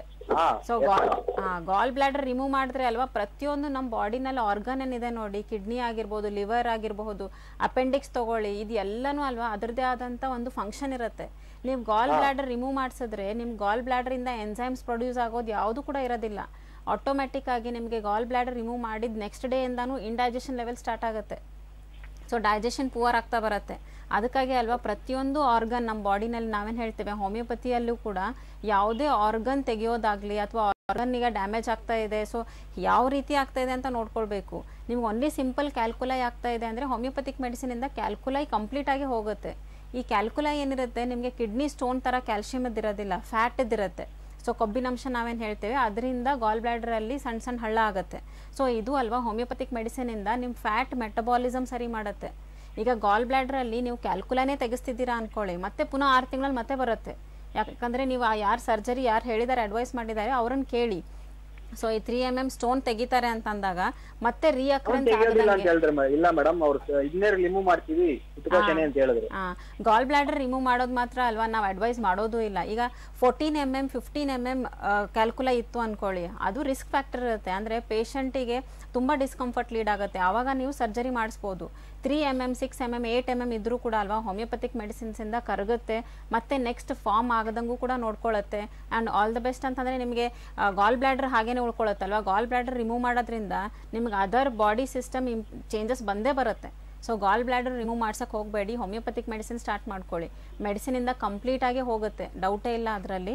ಮತ್ತೆ ಪುನಃ ಬರೋದು ಇಲ್ಲ. ಎಷ್ಟು ದಿನ ಆಗುತ್ತೆ ಮೇಡಮ್ ಅದು? ಅದು ನಿಮ್ಮ ಬಾಡಿ ಮೇಲೆ ಡಿಪೆಂಡ್ ಆಗುತ್ತೆ. ನೀವು ಒಂದ್ಸತಿ ರಿಪೋರ್ಟು ತೊಗೊಂಡು ಬನ್ನಿ. ಯಾಕಂದ್ರೆ ಯಾವುದೇ ಓನ್ಲಿ ಗಾಲ್ ಬ್ಲ್ಯಾಡರ್ ಹೇಗಿದೆ ಮತ್ತೆ ನಿಮ್ಮ ಗಾಲ್ ಬ್ಲ್ಯಾಡರ್ ಸೈಜ್ ಇಂಪಾರ್ಟೆಂಟ್ ಆಗುತ್ತೆ. ನಿಮ್ಮ ಡಿಸ್ಕಂಫರ್ಟ್ಸ್ ಏನೇನು ತೋರಿಸ್ತಾ ಇದೆ ನಾಸಿಯಾ ವಾಮಿಟಿಂಗ್ ಇದೆಲ್ಲ ನೋಡಿಬಿಟ್ಟು ಕೂಡ ನಾವು ಮೆಡಿಸಿನ್ ಸ್ಟಾರ್ಟ್ ಮಾಡ್ತೇವೆ. ಸೊ ಅಗೇನ್ ತ್ರೀ ಮಂತ್ಸಲ್ಲಿ ತ್ರೀ ಫೋರ್ ಮಂತ್ಸ್ ಆದಮೇಲೆ ಮೆಡಿಸಿನ್ಸ್ ಆದಮೇಲೆ ಮತ್ತೆ ಪುನಃ ಸ್ಕ್ಯಾನಿಂಗ್ ಮಾಡಿರ್ತೇವೆ. ಸೊ ಅದರಲ್ಲಿ ಸೈಜ್ ಡಿಫ್ರೆನ್ಸಸ್ ಆಗೋದು ಗೊತ್ತಾಗುತ್ತೆ ನಿಮಗೆ. ಇದು ಈ ಕೆಲವು ಸಾಂಬಾರ್ ನೋಡಿದ್ರೆ ನನಗೆ ಆಗೋದೇ ಇಲ್ಲ, ಕೆಲವು ಫುಡ್ ಐಟಮ್ಸ್ ನೋಡಿದ್ರೆ ನನಗೆ ಒಂಥರ ಅದು ನೋಡಿದ್ರೆ ಇರಿಟೇಟ್ ಆಗುತ್ತೆ ಅದು ವಾಮಿಟಿಂಗ್ ತರ ಸೆನ್ಸೇಷನ್ ಆಗುತ್ತೆ. ಇದೂ ಅದರಿಂದಾನೇ ಬರುತ್ತಾ? ಹೌದು ಕಂಪಲ್ಸರಿ ಇದರಿಂದನೇ ಆಗುತ್ತೆ. ಯಾಕಂದ್ರೆ ಗಾಲ್ ಬ್ಲಾಡರ್ ಅಲ್ವಾ, ನಿಮಗೆ ಡೈಜೆಷನ್ ಆಗೋದಕ್ಕೆ ತುಂಬಾ ಹೆಲ್ಪ್ ಆಗುತ್ತೆ. ನಿಮ್ಮ ಬಾಡಿನಿಂದ ಈಗ ಬಿಲಿರುಬಿನ್ ಬಿಲಿವರ್ಡಿನ್ ಅಂತ ಹೇಳ್ತೇವೆ. ಇನ್ನೂ ಎಂಜೈಮ್ಸ್ ಇರುತ್ತೆ ಇಂಟೆಸ್ಟೈನ್ ಬಿಡುಗಡೆ ಆಗುವಂಥದ್ದು ಲಿವರು ಹೆಲ್ಪ್ ಮಾಡುತ್ತೆ ಡೈಜೆಷನಲ್ಲಿ ಸೊ ಗಾಲ್ ಬ್ಲ್ಯಾಡರ್ ಇರೋದು ನಿಮಗೆ ಲಿವರ್ ಪಕ್ಕದಲ್ಲೇ ಇರುತ್ತೆ. ಸೊ ಗಾಲ್ ಬ್ಲ್ಯಾಡರ್ ಎನ್ಸೈಮ್ಸು ಅಲ್ವಾ ನಮ್ಮ ಬಾಡಿನಲ್ಲಿ ಫುಡ್ ಏನು ತೊಗೊಳ್ತೀರಾ? ಗಾಲ್ ಬ್ಲ್ಯಾಡ್ರಿಂದ ಎನ್ಸೈಮ್ಸ್ ರಿಡ್ಯೂಸ್ ಆದಾಗೇ ರಿಲೀಸ್ ಆದಾಗೇ ನಿಮಗೆ ಡೈಜೆಷನ್ ಸರಿ ಆಗುತ್ತೆ. ಸೊ ಗಾಲ್ ಬ್ಲ್ಯಾಡರ್ ಸ್ಟೋನ್ ಆಗಿದೆ ಅಂದರೆ ಅಲ್ಲಿ ಎನ್ಸೈಮ್ಸ್ ರಿಲೀಸ್ ಆಗ್ತಿಲ್ಲ. ಸೊ ಹಾಗಾಗಿ ಫುಡ್ ಹಾಗೆ ಡಿಸ್ಕಂಫರ್ಟ್ ಆಗುತ್ತೆ. ಅದಕ್ಕಾಗಿ ಅಲ್ವಾ ಕಾಮನ್ ಸೆನ್ಸ್ ಆಗುತ್ತೆ. ಈಗ ನೀವು ಗಾಲ್ ಬ್ಲ್ಯಾಡರ್ ತೆಗೆಸಿದ್ರೆ ಮತ್ತೆ ಕೂಡ ಎನ್ಸೈಮ್ಸ್ ಇರೋದಿಲ್ಲ. ಮತ್ತೆ ಕೂಡ ನಿಮಗೆ ಡಿಸ್ಕಂಫರ್ಟ್ ಇದ್ದೇ ಇರುತ್ತೆ. ನಾನು ಡಾಕ್ಟರ್ನೇ ಕೇಳಿದೆ ಸರ್ ಈ ತರ ಎಲ್ಲ ಇದೆ ಬೇರೆ ಕಡೆ ಎಲ್ಲ ಈ ತರ ಹೋಮಿಯೋಪತಿನಲ್ಲೆಲ್ಲ ಈ ತರ ಮೆಡಿಸಿನ್ ಜರ್ಮನ್ ಮೆಡಿಸಿನ್ ಯೂಸ್ ಮಾಡ್ತಾರೆ ಅಂತೆಲ್ಲ ಕೇಳ್ಪಟ್ಟಿದ್ದೀನಿ ಅಂದ್ರೆ ನಾನು ಬೇಕಾದ್ರೆ ನಿಮ್ಗೆ ಮೂರ್ ತಿಂಗಳಿನೆಲ್ಲ ನಾಲ್ಕು ತಿಂಗಳು ಟೈಮ್ ತಗೋ ನನ್ನ ಹತ್ರನೇ ಮಾಡಿಸ್ಬೇಕು ಅಂತ ಏನಿಲ್ಲ ನಾನು ಬೇಕಾದ್ರೆ ಚಾಲೆಂಜ್ ಮಾಡ್ತೀನಿ. ಅದು ಹೆಂಗ್ ರಿಮೂವ್ ಇದಾಗುತ್ತೆ ಚಾನ್ಸೇ ಇಲ್ಲ ಅಂದ್ರು. ಸೊ ಹಂಗಾಗಿ ನನಗೂ ಏನ್ ಮಾಡ್ಬೇಕು ಅಂತಾನೆ ತೋಚ್ತಾ ಇಲ್ಲ. ಒಂಥರ ಟೆನ್ಷನ್ ಆಗ್ಬಿಟ್ಟಿದೆ. ಆ, ಆ ತರ ಆಗ್ಬಿಟ್ಟಿದೆ ನನ್ಗೆ. ಈಗ ನಾವು ಅವ್ರು ಹೇಳಿದಾಗೆ ಅಲ್ವಾ, ನಾವು ಕೂಡ ಹೇಳ್ಬೋದು. ನಮ್ಮ ಹತ್ರ ಸುಮಾರು ಜನ ಪೇಷಂಟ್ಸ್ ಇದೆ gall bladder before after reports ಇದೆ. ಪೇಷಂಟ್ಸ್ ಬೆಟರ್ ಆಗಿರೋರು ಇದ್ದಾರೆ ಗಾಲ್ ಬ್ಲ್ಯಾಡರ್ ಆಪ್ಷ ಆಪ್ರೇಷನ್ಸನ್ನು ಸರ್ಜರಿ ಮಾಡೋದನ್ನು ನಾವು ಹೋಮಿಯೋಪತಿಕ್ ಮೆಡಿಸಿನ್ಸಿಂದ ಸ್ಟಾಪ್ ಮಾಡಿದ್ದೀವಿ ಸೊ ಆಪ್ರೇಷನ್ಸ್ ಹೋಗ್ತಾನೂ ಇಲ್ಲ ಈಗ, ಹೋಗೋ ಅಂತ ನೆಸೆಸಿಟಿನೂ ಇಲ್ಲ. ಗಾಲ್ ಬ್ಲ್ಯಾಡರ್ ಕ್ಯಾಲ್ಕುಲೈನೂ ಹೋಗಿದ್ದೆ ಅವರಿಗೆ ಡಿಸ್ಕಂಫರ್ಟು ಇಲ್ಲ ಈಗ. ಹೋಮಿಯೋಪತಿ ಸಿಸ್ಟಮ್ ಆಫ್ ಮೆಡಿಸಿನ್ ಅಲ್ವಾ, ಯಾವ ಕಾರಣಕ್ಕೆ ಆಗ್ತಾ ಇದೆ, ಏನು ಪ್ರಾಬ್ಲಮ್ ಸಿಮ್ಟಮ್ ತೋರಿಸ್ತಾ ಇದೆ, ಇದನ್ನೆಲ್ಲ ಅರ್ಥ ಮಾಡಿಕೊಂಡೇ ಕೊಡೋದು. ಸುಮ್ಮನೆ ಜಸ್ಟ್ ನಿಮಗೆ ಕ್ಯಾಲ್ಕುಲೈ ಡಿಸಾಲ್ವ್ ಆಗೋದಕ್ಕಂತ ಏನು ಕೊಡ್ತಾ ಇಲ್ಲ. ನಿಮ್ಮ ಬಾಡಿ ಮೆಟಬಾಲಿಸಮ್ ಕರೆಕ್ಟ್ ಆಗಬೇಕು. ಫ್ಯಾಟ್ ಮೆಟಬಾಲಿಸಮ್ ಕರೆಕ್ಟ್ ಆದರೆ ಗಾಲ್ ಬ್ಲ್ಯಾಡರ್ ಕ್ಯಾಲ್ಕುಲೈನು ಹೋಗುತ್ತೆ ಸಿಂಪ್ಟಮ್ಸು ಆಚೆ ಹೋಗುತ್ತೆ. ಓಕೆ ಧನ್ಯವಾದಗಳು ಸರ್ ಕಾಲ್ ಮಾಡಿದ್ದಕ್ಕೆ. ನೇರವಾಗಿ ಬಂದು ಡಾಕ್ಟರ್ನ ಭೇಟಿ ಮಾಡಬಹುದು ನಮ್ಮ ಹೋಮಿಯೋಪತಿ ಕ್ಲಿನಿಕ್ನ ಫೋನ್ ನಂಬರ್ ಟಿವಿ ಸ್ಕ್ರೀನ್ ಮೇಲೆ ಬರ್ತಾ ಇದೆ.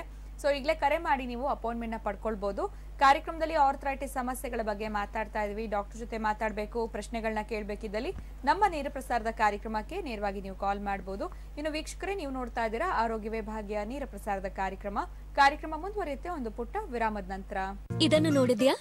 ಪ್ರತಿದಿನ ಸುಂದರವಾಗಿ ಕಾಣಲು ಇಪ್ಪತ್ತು ದಾರಿಗಳು. ಇಪ್ಪತ್ತು ದಾರಿ ಯಾಕೆ? ಮಮ್ಮಿಗೆ ಇಪ್ಪತ್ತು ರೂಪಾಯಿ ಸಾಕು. ಪ್ರಸ್ತುತಪಡಿಸುತ್ತೇವೆ ಹೊಸ ಸಂತೂರ್ ಕೇವಲ ಇಪ್ಪತ್ತು ರೂಪಾಯಿಗಳಲ್ಲಿ.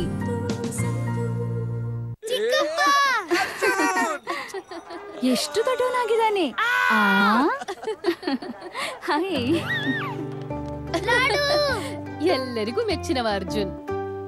ನನ್ಗಂತೂ ಕ್ಯಾವಿಟೀಸ್ ನದ್ದೇ ಚಿಂತೆ ಕಾಡುತ್ತೆ. ಹೌದು. ಚಿಂತೆ ಆಗೋದು ಸ್ವಾಭಾವಿಕ. ಈ ತರದ ತಿಂಡಿಗಳಿಂದ ಆಗಬಹುದು ಕ್ಯಾವಿಟೀಸ್. ಅದಕ್ಕಾಗಿ ಕೋಲ್ಗೇಟ್. ಇದರ ಕ್ಯಾಲ್ಸಿಲಾಕ್ ಪ್ರೊಟೆಕ್ಷನ್ ಹಲ್ಲುಗಳನ್ನಿರಿಸುತ್ತೆ ಗಟ್ಟಿಯಾಗಿ ಮತ್ತು ಕ್ಯಾವಿಟೀಸ್ನಿಂದ ಸುರಕ್ಷಿತ. ಕ್ಯಾವಿಟೀಸ್ನ ಭಯವಿಲ್ಲ ಪ್ರೀತಿಯಲ್ಲಿ ತಡೆಯಿಲ್ಲ. ಈಗ ಪಡೆಯಿರಿ ಕೋಲ್ಗೇಟ್ನ ನೂರು ಗ್ರಾಂ ಪ್ಯಾಕ್ ಮೇಲೆ ಹತ್ತು ಪರ್ಸೆಂಟ್ ಎಕ್ಸ್ಟ್ರಾ. ಏನ್ ನಡೀತಿದೆ? ಇಂದು ಬದ್ನೆಕಾಯಿ ವಿಶೇಷ. ಓಹೋ. ಹೌದು. ಸ್ವಲ್ಪ ದಮ್ ಕೂಡ ಇರ್ಲಮ್ಮ.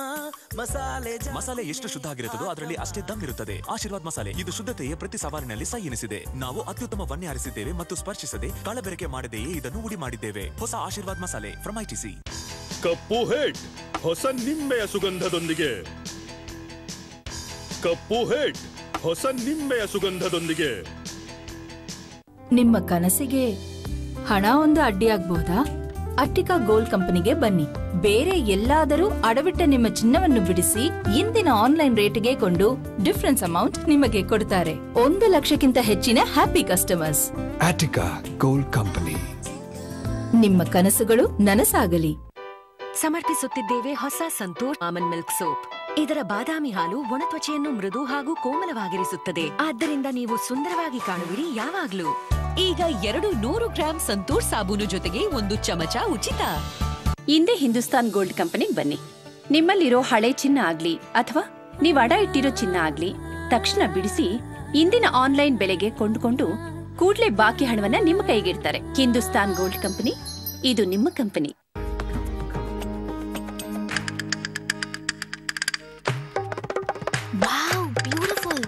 ಈ ಸಂಜೆ ನಮ್ ಜೊತೆ ಬಾ. ನಮ್ ಕಡೆ ಎಕ್ಸ್ಟ್ರಾ ಸ್ಟೂಡೆಂಟ್ ಪಾಸ್ ಇದೆ. ಸ್ಟೂಡೆಂಟ್ ಮತ್ತು ನಾನು ಆ, ಮಮ್ಮಿ! ಏನಿದು ಹುಡುಗಾಟ? ಪ್ರಸ್ತುತಪಡಿಸಲಾಗುತ್ತಿದೆ ಸಂತೂರ್. ಇದನ್ನು ಸಂತೂರ್ ಸ್ಕಿನ್ ಕೇರ್ ಸೆಂಟರ್ನಲ್ಲಿ ಅರಿಶಿನ ಮತ್ತು ಚಂದನಗಳ ಗುಣಗಳನ್ನು ಸೇರಿಸಿ ತಯಾರಿಸುತ್ತಾರೆ. ಅದು ನಮಗೆ ನೀಡುತ್ತದೆ ತಾರುಣ್ಯಪೂರ್ಣ ಕಾಂತಿಯುತ ತ್ವಚೆ ಯಾವಾಗ್ಲೂ. ಅರೆ ನಾವು ಇವರನ್ನು ಬೆಳಿಗ್ಗೆ ನೋಡಿದ್ದೆವು. ಖರೀದಿಸಿರಿ ನೂರು ಗ್ರಾಂನ ಎರಡು ಸಂತೂರ್ ಸಾಬೂನ್ಗಳನ್ನು ಮತ್ತು ಪಡೆಯಿರಿ ಒಂದು ಪೆನ್ ಉಚಿತ. ನಿರು?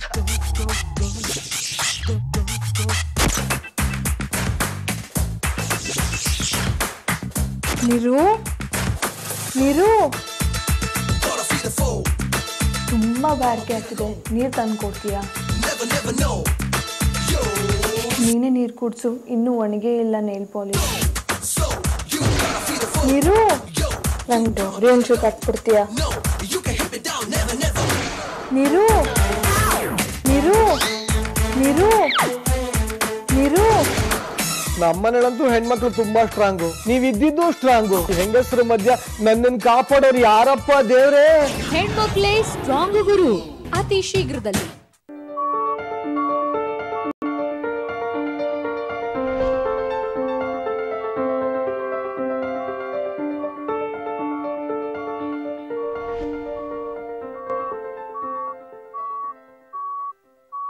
ಇವತ್ತಿನ ಕಾರ್ಯಕ್ರಮದಲ್ಲಿ ಆರ್ಥ್ರೈಟಿಸ್ ಸಮಸ್ಯೆಗಳ ಬಗ್ಗೆ ಮಾತನಾಡ್ತಾ ಇದ್ವಿ. ಆರ್ಥ್ರೈಟಿಸ್ ಅಂತ ಅಂದ್ರೇನು? ಇನ್ನು ಪ್ರಮುಖವಾಗಿ ನೋಡುವಂತಹ ಟೈಪ್ಸ್ ಆಫ್ ಆರ್ಥ್ರೈಟಿಸ್ ಅದರಲ್ಲೂ ಆಸ್ಟ್ರೋ ಆರ್ಥ್ರೈಟಿಸ್ ಬಗ್ಗೆ ಡಾಕ್ಟರ್ ತಿಳಿಸಿದ್ರು. ಇನ್ನು ಬೇರೆ ಯಾವ ಟೈಪ್ ಆಫ್ ಆರ್ಥ್ರೈಟಿಸ್ನ ನೋಡ್ತೀರಾ ಡಾಕ್ಟರ್ ಮ್ಯಾಕ್ಸಿಮಮ್ ಸೆಕೆಂಡ್ ಮೇನ್ ಅಂದರೆ ಅಥವಾ ಕ್ರಾನಿಕ್ ಕಂಡೀಷನ್ಸ್ ಅಂತ ನಾವು ಹೇಳ್ತೇವೆ. ಆಲ್ಮೋಸ್ಟ್ ಪೇಷಂಟ್ ತುಂಬ ಸಫರ್ ಆಗ್ತಾರೆ ಆ್ಯಂಡ್ ಹೋಪ್ಸು ಇರೋದಿಲ್ಲ ಇವರಿಗೆ. ಸೊ ಅದನ್ನು ನಾವು ರುಮಟೆಡ್ ಆರ್ಥ್ರೈಟಿಸ್ ಅಂತ ಹೇಳ್ತೇವೆ. ಸೊ ರುಮಟೆಡ್ ಆರ್ಥ್ರೈಟಿಸಲ್ಲಿ ಆಲ್ಮೋಸ್ಟ್ ಬ್ಲಡ್ ಇನ್ಫೆಕ್ಷನ್ ಜಾಸ್ತಿ ಇರುತ್ತೆ.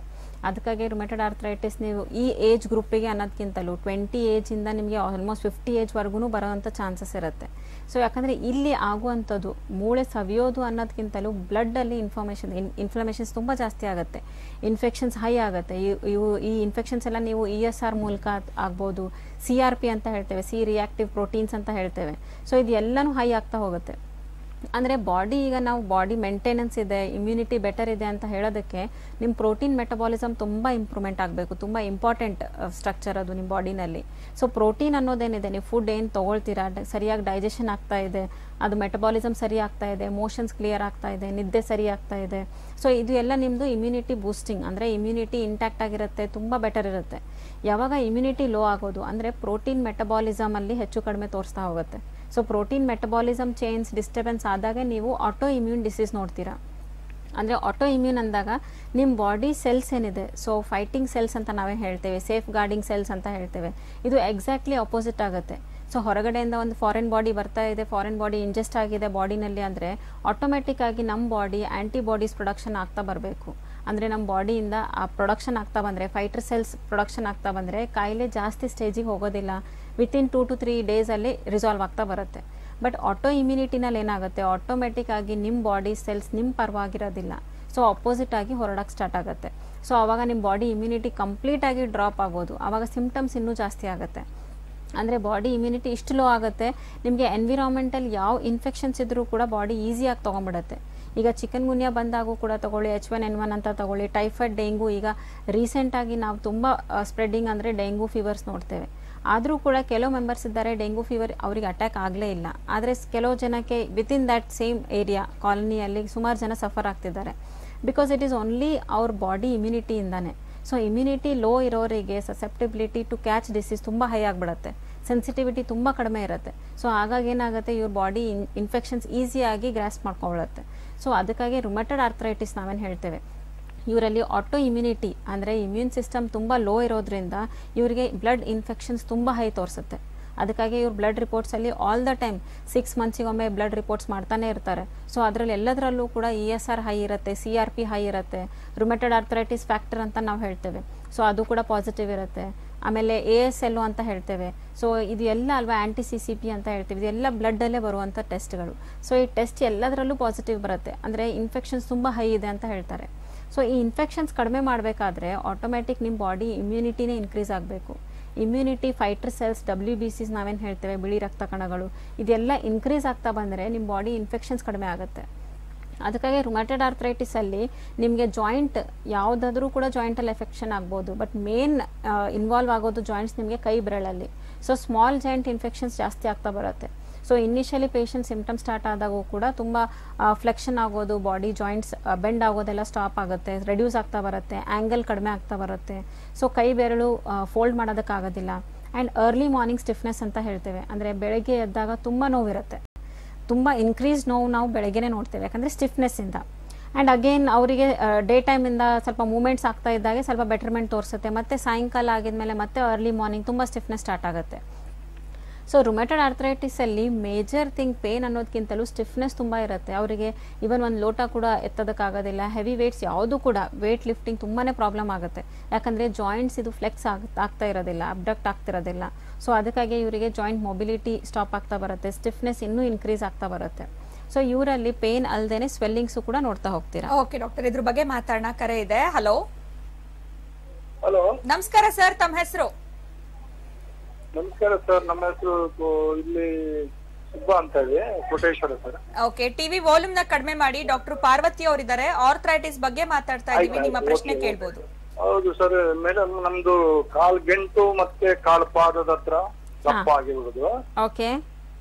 ಹೌದು ಅದು ತುಂಬಾ ಕಮ್ಮಿ ಇತ್ತು. ಈ ಒಂದ್ ಎರಡು ದಿವಸ ಆಯ್ತು ತುಂಬಾ ಜಾಸ್ತಿ ಆಗಿದೆ ನೆಡ್ಲಿಕ್ಕೆ ಆಗುದಿಲ್ಲ ಕಾಲು ಬೆಂಡು ಮಾಡ್ಲಿಕ್ಕೆ ಆಗುದಿಲ್ಲ ಸೈಕಲ್ ಅಲ್ಲೂ ಹೋಗ್ತಿದ್ದೆ ದಿವಸ.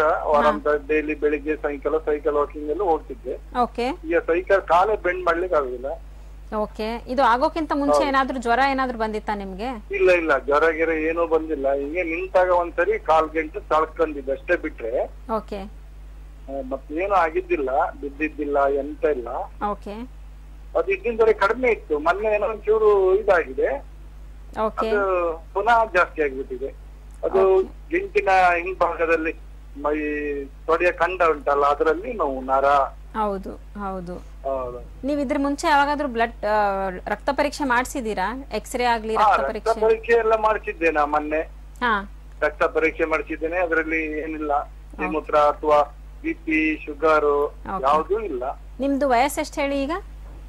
ಅರವತ್ತೆರಡು. ಓಕೆ ಓಕೆ ಓಕೆ ಸೊ ನೀವು ಹೇಳ್ತಿದ್ದೀರಾ ನೋಡಿ ಕಾಲು ಉಳುಕಿದೆ ಅಂತ. ಸೊ ಅಲ್ಲಿ ಮಸ್ಕ್ಯುಲರ್ ಪೇನ್ಸ್ ಇರುತ್ತೆ. ಸೊ ಮಸಲ್ ಸ್ಟ್ರೆಸ್ ಆಗಿರೋದ್ರಿಂದನೂ ನಿಮಗೆ ಪೇನ್ ಬರುತ್ತೆ. ಬಟ್ ಸ್ವೆಲ್ಲಿಂಗ್ ಏನು ಹೇಳ್ತಿದ್ದೀರಾ? ಊತ ಏನು ಬರ್ತಾ ಇದೆ ನೋಡಿ. ಇದು ರಿಲೇಟೆಡ್ ಟು ನಿಮ್ಮ ಬಿ ಪಿಗೆ ರಿಲೇಟೆಡ್ ಇರಬಹುದು. ಬ್ಲಡ್ ಸರ್ಕ್ಯುಲೇಷನ್ ಅಂದರೆ ಒಳಗಡೆ ರಕ್ತ ಚಲನೆ ಸರಿ ಆಗೋದಕ್ಕಿರುತ್ತೆ. ಸೊ ನೀವು ಇದನ್ನ ಅಲ್ವಾ ಒಂದ್ಸತಿ ಎಕ್ಸ್ರೇನೂ ಮಾಡಬೇಕು. ಮತ್ತು ಇನ್ನೊಂದು ವೇನಸ್ ಟಾಪ್ಲರ್ ಅಂತ ನಾವು ಹೇಳ್ತೇವೆ. ಅಂದರೆ ರಕ್ತ ಚಲನೆ ಹೇಗೆ ಆಗ್ತಿದೆ ಅಂತ ನೋಡೋದಕ್ಕೆ ಒಂದು ಟೆಸ್ಟ್ ಬರುತ್ತೆ ಸ್ಕ್ಯಾನಿಂಗ್ ಬರುತ್ತೆ. ಆ ಸ್ಕ್ಯಾನ್ ಮಾಡಿದ್ರೆ ನಿಮ್ಮ ರಕ್ತ ಚಲನೆ ಹೇಗಿದೆ ಅಂತ ಗೊತ್ತಾಗುತ್ತೆ. ಯಾಕಂದರೆ ಊತ ಬರೋದಕ್ಕೆ. ನೋವು ಆಗ್ತಾ ಇದೆ ಪರವಾಗಿಲ್ಲ. ಈಗ ಬಿದ್ದಿದ್ದೀರಾ ನೋವು ತೋರಿಸ್ತಾ ಇದೆ ಒಳ್ಳೇದು. ಅದು ನಿಮಗೆ ಸಿಂಪ್ಟಮ್ ಅದೇ ತೋರಿಸುತ್ತೆ. ಬಟ್ ಊತ ಬರೋದಲ್ವಾ? ಸ್ವೆಲ್ಲಿಂಗ್ ಹಾಗೆ ಸುಮ್ಮನೆ ಬರೋದಿಲ್ಲ. ನಿಮಗೆ ಏನಾದರೂ ಇಂಟರ್ನಲಿ ಕಂಡೀಷನ್ಸ್ ಇದ್ದಾಗೇನೆ ಸ್ವೆಲ್ಲಿಂಗ್ ಬರುತ್ತೆ. ಸೊ ಊತ್ಕೊಳ್ಳೋದು ತೋರಿಸ್ತಾ ಇದೆ ಅಂದರೆ ಅದು ರಿಲೇಟೆಡ್ ಟು ಬಿ ಪಿ ಇರಬಹುದು ಕಿಡ್ನಿ ರಿಲೇಟೆಡ್ ಕಂಪ್ಲೇಂಟ್ಸ್ ಇರಬಹುದು ಅಥವಾ ಕೆಳಗಡೆ ಕಾಲಲ್ಲಿ ರಕ್ತನಾಳ ಸರಿಯಾಗಿ ಕೆಲಸ ಮಾಡ್ತಿರೋದಿಲ್ಲ. ರಕ್ತನಾಳ ಅಥವಾ ಮತ್ತು ರಕ್ತ ಚಲನೆ ಎರಡು ಸರಿ ಇಲ್ಲದೆ ಇರೋದಕ್ಕೆ ಊತ ಬರುತ್ತೆ. ನೀವು ಒಂದ್ಸತಿ ಬಂದು ಏನಾಗಿದೆ ಅಂತ ಹೇಳಿದ್ರೆ ಹಾ. ನಮಗೆ ತಿರುಗುವಾಗ ಹಾ. ಅದು ತಿರ್ತಾ ಇದ್ರೆ ತೊಂದ್ರೆ ಇಲ್ಲ. ನಿಂತ್ಕೊಂಡಲ್ಲೇ ನಿಂತ್ಕೊಂಡ್ರು ಇದಾಗ್ತದೆ. ಮತ್ತೆ ವೆಯ್ಟ್ ಮಾಡಿದ್ರ ಕೂಡಲೇ ವೆಯ್ಟ್ ಕೆಲಸ ಮಾಡಿದ್ರು ಕೂಡಲೇ ಅಲ್ಲಿ ದಪ್ಪಾಗಿ ಬಿಡುತ್ತೆ ಅದು ಇವತ್ತು ಕಂಡಾಬಿಟ್ಟಿ ದಪ್ಪಾಗಿದೆ. ಅದೇ ನೋಡ್ತಾ ಕುತ್ಕೊಂಡಿದ್ದೀನಿ ಓಕೆ ಓಕೆ. ಹಾಂ. ನೀವು ಹೇಳೋ ಸಿಂಪ್ಟಮ್ಸ್ ಅಲ್ವಾ? ಎಲ್ಲ ಕೂಡ ರಿಲೇಟೆಡ್ ಟು ವೇನ್ಸ್ ಇದ್ದಿದೆ. ವೆರಿಕೋಸ್ ವೇನ್ಸ್ ಅಂತ ನಾವು ಹೇಳ್ತೇವೆ. ಇದ್ರ ರಿಲೇಟೆಡ್ ಸಿಂಪ್ಟಮೇ ತೋರಿಸ್ತಾ ಇದೆ. ಅಂದ್ರೆ ತುಂಬಾ ಹೊತ್ತು ನಿಂತ್ಕೊಂಡ್ಮೇಲೆ ನಿಮಗೆ ಊದ್ಕೊಳ್ಳೋ ತೋರಿಸ್ತಾ ಇದೆ ಅಂದ್ರೆ ಅದು ರಕ್ತ ಚಲನೆ ಸರಿ ಆಗ್ತಾ ಇಲ್ಲ ಅಂತ. ನೀವು ಬಿದ್ದಿರೋದು ಉಳ್ಕಿರೋದೇನು ಹೇಳ್ತಿದ್ದೀರ ನೋಡಿ ಅದರಿಂದ ಇದು ನೋವಲ್ಲ. ಅಲ್ಲ ಅದರಿಂದ ಇದ್ರೆ ನಿಮ್ಗೆ ಎರಡು ಮೂರು ದಿವಸದಲ್ಲೇ ಕಡಿಮೆ ಆಗ್ಬಿಡತ್ತೆ. ತಾನಾಗೆ ನಾರ್ಮಲಿಗೆ ಬರುತ್ತೆ. ಮತ್ತೆ ಮತ್ತೆ ನಿಮಗೆ ಪುನಃ ಊತ ತೋರಿಸ್ತಾ ಇದೆ ಅಂದ್ರೆ ಅದು ರಕ್ತ ಚಲನೆ ಸರಿ ಆಗ್ತಾ ಇಲ್ಲ. ನೀವು ವೇನಸ್ ಡಾಪ್ಲರ್ ಅಂತ ಬರುತ್ತೆ ಟೆಸ್ಟ್. ಆ ವೇನಸ್ ಡಾಪ್ಲರ್ ಟೆಸ್ಟ್ ಮಾಡಿಸಿ ಇಲ್ಲ ಒಂದ್ಸತಿ ಕ್ಲಿನಿಕ್ಗೆ ಬಂದು ಭೇಟಿಯಾಗಿ ನಾವು ಕೆಲವು ಟೆಸ್ಟ್ ಹೇಳ್ತೇವೆ ಅದಾದ್ಮೇಲೆ ಮೆಡಿಸಿನ್ ಸ್ಟಾರ್ಟ್ ಮಾಡಿ. ಓಕೆ ಧನ್ಯವಾದಗಳು ಸರ್ ಕಾಲ್ ಮಾಡಿದಕ್ಕೆ ನೇರವಾಗಿ ಬಂದು ಡಾಕ್ಟರ್ನ ಭೇಟಿ ಮಾಡಬಹುದು ನಮ್ಮ ಹೋಮಿಯೋಪತಿ ಕ್ಲಿನಿಕ್ನ ಫೋನ್ ನಂಬರ್ ಟಿವಿ ಸ್ಕ್ರೀನ್ ಮೇಲೆ ಬರ್ತಾ ಇದೆ. ಸೊ ಈಗಲೇ ಕರೆ ಮಾಡಿ ನೀವು ಅಪಾಯಿಂಟ್ಮೆಂಟ್ನ ಪಡ್ಕೊಳ್ಬಹುದು ಕಾರ್ಯಕ್ರಮದಲ್ಲಿ ಆರ್ಥರೈಟಿಸ್ ಸಮಸ್ಯೆಗಳ ಬಗ್ಗೆ ಮಾತಾಡ್ತಾ ಇದ್ವಿ. ಡಾಕ್ಟರ್ ಜೊತೆ ಮಾತಾಡಬೇಕು ಪ್ರಶ್ನೆಗಳನ್ನ ಕೇಳಬೇಕಿದ್ದಲ್ಲಿ ನಮ್ಮ ನೇರ ಪ್ರಸಾರದ ಕಾರ್ಯಕ್ರಮಕ್ಕೆ ನೇರವಾಗಿ ನೀವು ಕಾಲ್ ಮಾಡಬಹುದು ಇನ್ನು ವೀಕ್ಷಕರೇ, ನೀವು ನೋಡ್ತಾ ಇದ್ದೀರಾ ಆರೋಗ್ಯ ಭಾಗ್ಯ ನೇರ ಪ್ರಸಾರದ ಕಾರ್ಯಕ್ರಮ. ಕಾರ್ಯಕ್ರಮ ಮುಂದುವರಿಯುತ್ತೆ ಒಂದು ಪುಟ್ಟ ವಿರಾಮದ ನಂತರ.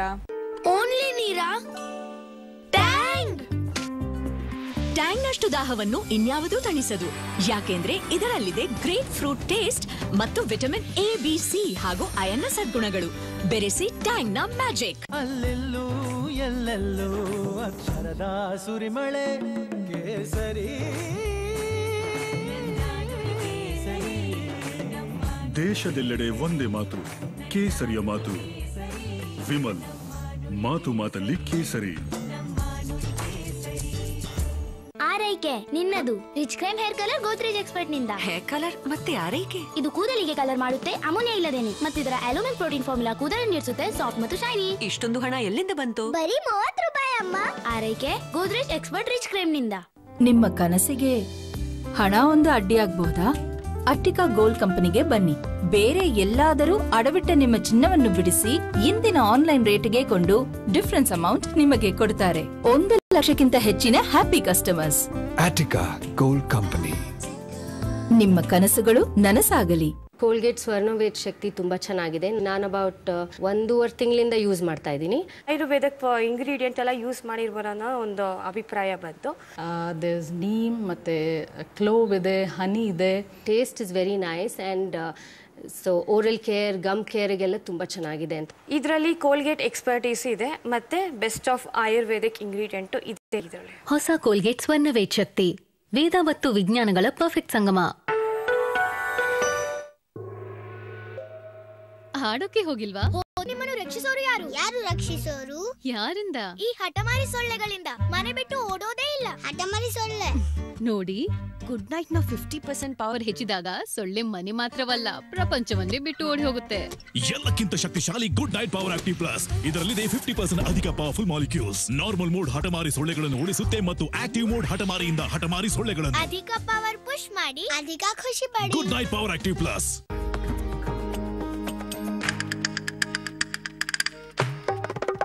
wow!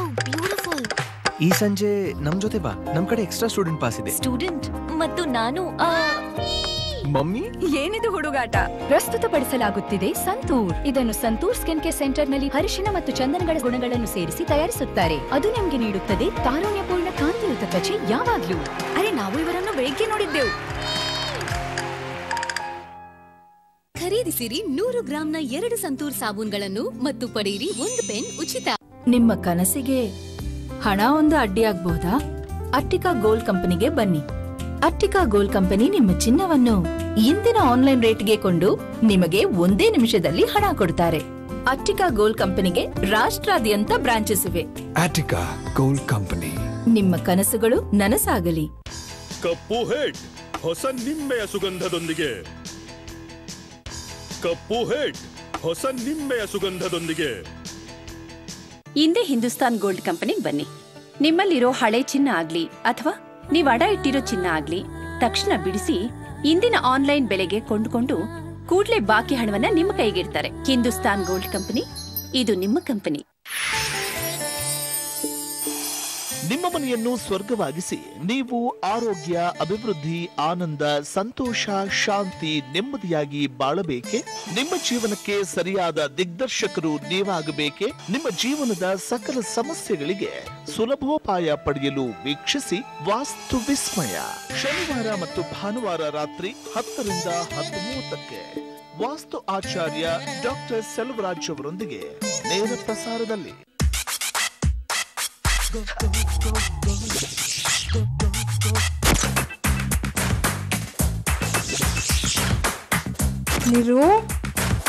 ನೀರು? ತುಂಬಾ ಬಾರಿಕೆ ಆಗ್ತಿದೆ. ನೀರು ತಂದು ಕೊಡ್ತೀಯಾ? ನೀನೇ ನೀರು ಕುಡ್ಸು. ಇನ್ನೂ ಒಣಗೇ ಇಲ್ಲ ನೇಲ್ ಪಾಲಿಶ್ ನೀರು? ನಂಗೆ ಡೋರಿ ಒಂಚೂರು ಕಟ್ಬಿಡ್ತೀಯಾ? ನೀರು? ನೀರು ನೀರು ನೀರು. ನಮ್ಮನೇಲಂತೂ ಹೆಣ್ಮಕ್ಳು ತುಂಬಾ ಸ್ಟ್ರಾಂಗು ನೀವಿದ್ದಿದ್ದು ಸ್ಟ್ರಾಂಗು ಹೆಂಗಸರ ಮಧ್ಯ ನನ್ನನ್ನು ಕಾಪಾಡೋರು ಯಾರಪ್ಪ ದೇವ್ರೇ? ಹೆಣ್ಮಕ್ಳೇ ಸ್ಟ್ರಾಂಗ್ ಗುರು. ಅತಿ ಶೀಘ್ರದಲ್ಲಿ.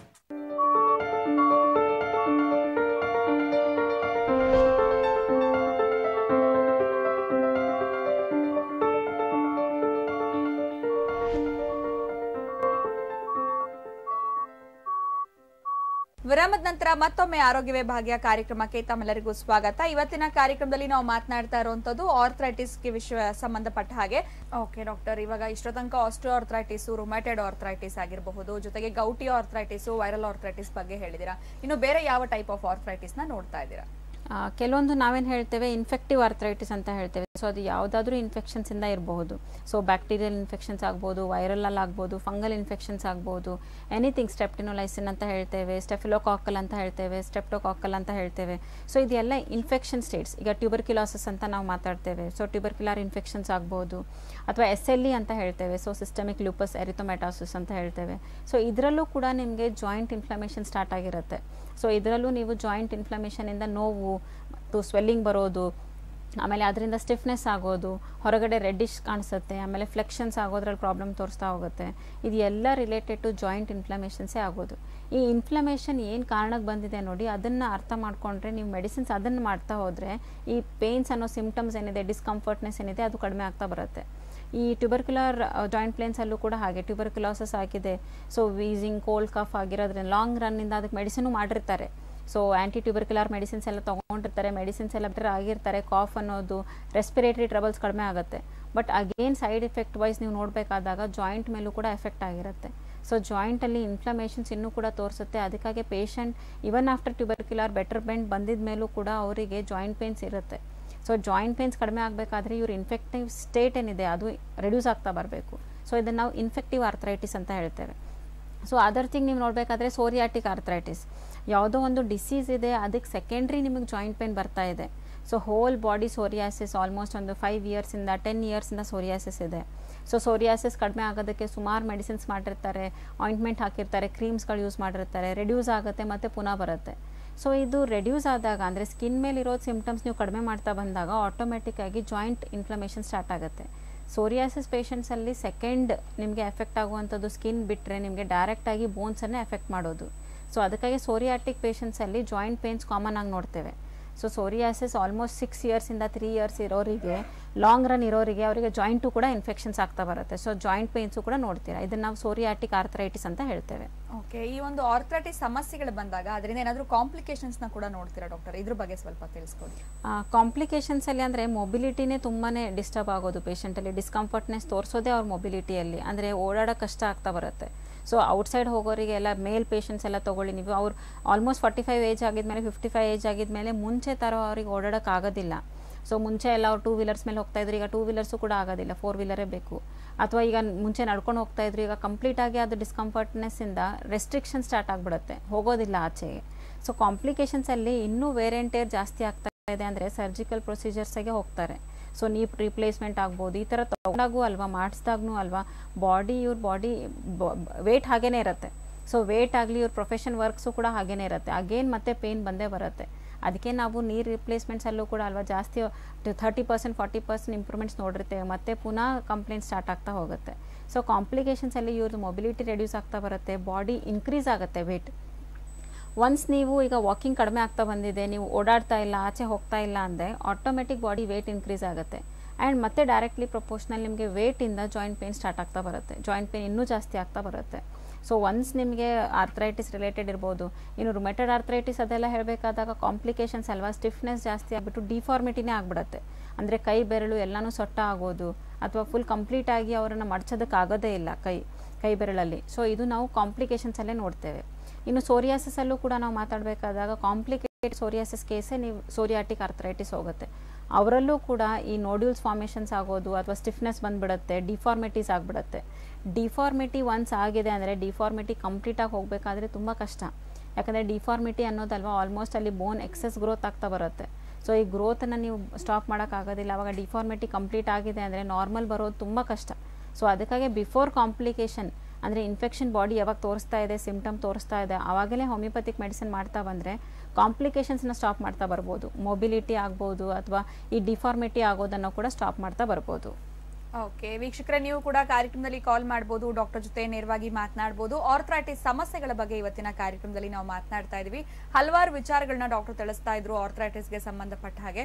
ಎಲ್ಲೋ ಒಂದ್ ಕಡೆ ಡಾಕ್ಟರ್ ಈ ಒಂದು ಆರ್ಥ್ರೈಟಿಸ್ ಎಲ್ಲ ಇದ್ದಾಗ ಮಂಡಿ ನೋವಿನ ಸಮಸ್ಯೆ ಬಂದಾಗ ಈ ಒಂದು ಆಪರೇಷನ್ಸ್ಗೆ ಕೂಡ ಒಳಗಾಗ್ತಾರೆ ಅಂತ. ಹೇಳ್ಬೋದು. ಸೊ ತದನಂತರ ಕೂಡ ಪೇನ್ಗಳು ಕಾಣಿಸ್ಕೊಳ್ಳುತ್ತೆ ಅಂತವ್ರಿಗೂ ಕೂಡ ಹೋಮಿಯೋಪತಿನಲ್ಲಿ ಟ್ರೀಟ್ ಮಾಡಬಹುದಾ ಯಾವ ರೀತಿ ಪೇಷಂಟ್ಸ್ನ ನಿಮ್ಮ ಪ್ರಾಕ್ಟೀಸ್ನಲ್ಲಿ ನೋಡ್ತಾ ಇದ್ದೀರಾ?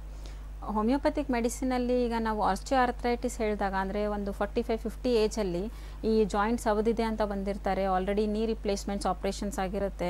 ಇಲ್ಲ ಡೈರೆಕ್ಟಾಗಿ ಮಂಡಿಗೆ ಕೂಡ ಇನ್ ಇಂಜೆಕ್ಷನ್ಸ್ ತೊಗೊಂಡಿರ್ತಾರೆ. ಸೈನೋವೆಲ್ ಫ್ಲೂಯಿಡ್ ಇನ್ಫ್ಲಮೇಷನ್ ಜಾಸ್ತಿ ಆಗಬಾರ್ದು ಅಂತ ಇಂಜೆಕ್ಷನ್ಸ್ ತೊಗೊಂಡಿರ್ತಾರೆ. ಸೊ ಇವರಲ್ಲೂ ಕೂಡ ಅಲ್ವಾ ಹೋಮಿಯೋಪತಿಕ್ ಮೆಡಿಸಿನ್ ನಾವು ಸ್ಟಾರ್ಟ್ ಮಾಡಿದಾಗ ಅಗೇನ್ ಇಂಟರ್ನಲ್ ಮೆಟಬಾಲಿಕ್ ಚೇಂಜಸ್ಸೇ ಆಗಬೇಕು.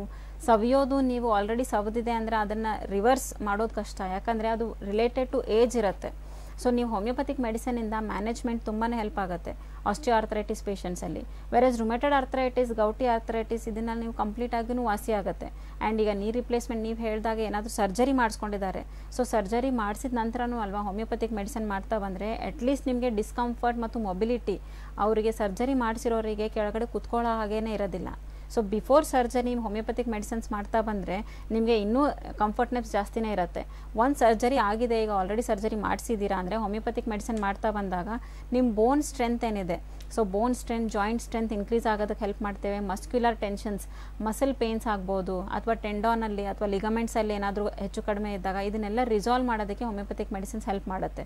ಆವಾಗ ಕಾಂಪ್ಲಿಕೇಶನ್ಸ್ ಅಂದರೆ ಕೂತ್ಕೊಳ್ಳೋದಕ್ಕೆ, ನಿಂತ್ಕೊಳ್ಳೋದಕ್ಕೆ ಪೇನ್ ಕಿಲ್ಲರ್ ಥರ ಯಾವುದೇ ಮೆಡಿಸಿನ್ಸ್ ಇಲ್ಲದೇನೆ ಯಾಕಂದರೆ ಸುಮಾರು ಜನ ಪೇಷಂಟ್ಸ್ ಈಗ pain killers ತೊಗೊಳ್ತಿರ್ತಾರೆ. More than three months four months ತೊಗೊಂಡಾಗ ಅವರಿಗೆ ಸೈಡ್ ಎಫೆಕ್ಟ್ಸ್ ನಮ್ಮ ಗ್ಯಾಸ್ಟ್ರೈಟಿಸ್ ತೋರಿಸುತ್ತೆ ಅಥವಾ ವೆಯ್ಟ್ ಇನ್ಕ್ರೀಸ್ ಆಗುತ್ತೆ. ಸೊ ಈ ಥರದ್ದು ಹೋಮಿಯೋಪತಿಕ್ ಮೆಡಿಸಿನಲ್ಲಿ ಯಾವುದೇ ರೀತಿ ಸೈಡ್ ಎಫೆಕ್ಟ್ಸ್ ಇರೋದಿಲ್ಲ. ಸೊ ಈ ನಮ್ಮ ಮೆಡಿಸಿನ್ಸಲ್ಲೂ ಕೂಡ ಡೈರೆಕ್ಟಾಗಿ ಪೇನ್ ರಿಲೀಫಿಂಗ್ ಮೆಡಿಸಿನ್ಸ್ ಅಂತ ಇರೋದಿಲ್ಲ. ಇಂಟರ್ನಲಿ ಬಾಡಿ ರೆಗ್ಯುಲೇಷನ್ ಸರಿ ಆಗ್ತಾ ಬಂದಾಗ ಮೆಟಬಾಲಿಕ್ ಚೇಂಜಸ್ ಕರೆಕ್ಟ್ ಆಗ್ತಾ ಇದೆ. ಸೊ ಬಾಡಿ ಜಾಯಿಂಟಲ್ಲಿ ಸ್ಟ್ರೆಂತ್ ಬರ್ತಾ ಇದೆ ಅಂದಾಗ ನಿಮಗೆ ಪೇನು ಕೂಡ ರೆಡ್ಯೂಸ್ ಆಗುತ್ತೆ ಕಾಂಪ್ಲಿಕೇಶನ್ಸು ಕೂಡ ಬರೋದಿಲ್ಲ.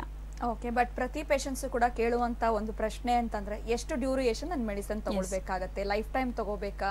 ಅಥವಾ ಸ್ವಲ್ಪ ದಿವಸ ತೊಗೊಂಡ್ರೆ ಪೇನ್ಗಳು ನನಗೆ ಕಡಿಮೆ ಆಗ್ತಾ ಬರುತ್ತಾ? ಇದಕ್ಕೆ ಏನು ಉತ್ತರ ಕೊಡ್ತೀರಾ ಡಾಕ್ಟರ್ ಅಗೇನ್ ಅಲ್ವಾ ಈಗ ಪರ್ಸನ್ ಟು ಪರ್ಸನ್ ಡಿಫರ್ ಆಗೇ ಆಗ್ತಾರೆ. ಈಗ ನೀವು ಆಸ್ಟಿಯೋ ಆರ್ಥರೈಟಿಸನ್ನೇ ತಗೊಳ್ಳಿ. ಮುಂಚೆ ನೀವು ಸಿಕ್ಸ್ಟಿ ಇಯರ್ ಸಿಕ್ಸ್ಟಿ ಫೈವ್ ಇಯರ್ಸಲ್ಲಿ ಆಸ್ಟಿಯೋ ಆರ್ಥರೈಟಿಸ್ ತುಂಬ ಕಾಮನ್ ಆಗಿರ್ತಾ ಇತ್ತು. ಇವಾಗ ಫಾರ್ಟಿ ಫೈವ್ ಏಜ್ಗೆ ಬರ್ತಾ ಇದೆ.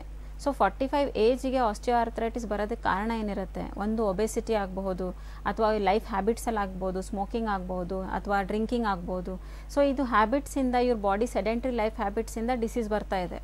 ಅಗೇನ್ ಹೆರಿಡಿಟ್ರಿ ಚಾನ್ಸಸ್ಸು ಇರುತ್ತೆ. ಸೊ ಪೇಷಂಟ್ ಯಾವ ಕಾರಣಕ್ಕೆ ಬಂದಿದೆ ನೋಡಿ, ಅದು ತುಂಬ ಇಂಪಾರ್ಟೆಂಟ್ ಇರುತ್ತೆ. ಆಸ್ಟಿಯೋಆರ್ಥರೈಟಿಸ್ ನೀವು ಟೆನ್ ಪೀಪಲ್ ತೊಗೊಂಡ್ರೆ, ಹತ್ತು ಜನ ಆಸ್ಟಿಯೋಆರ್ಥರೈಟಿಸಿಂದ ಆರ್ಥರೈಟಿಸಿಂದ ಆಗ್ತಾ ಇದ್ದಾರೆ.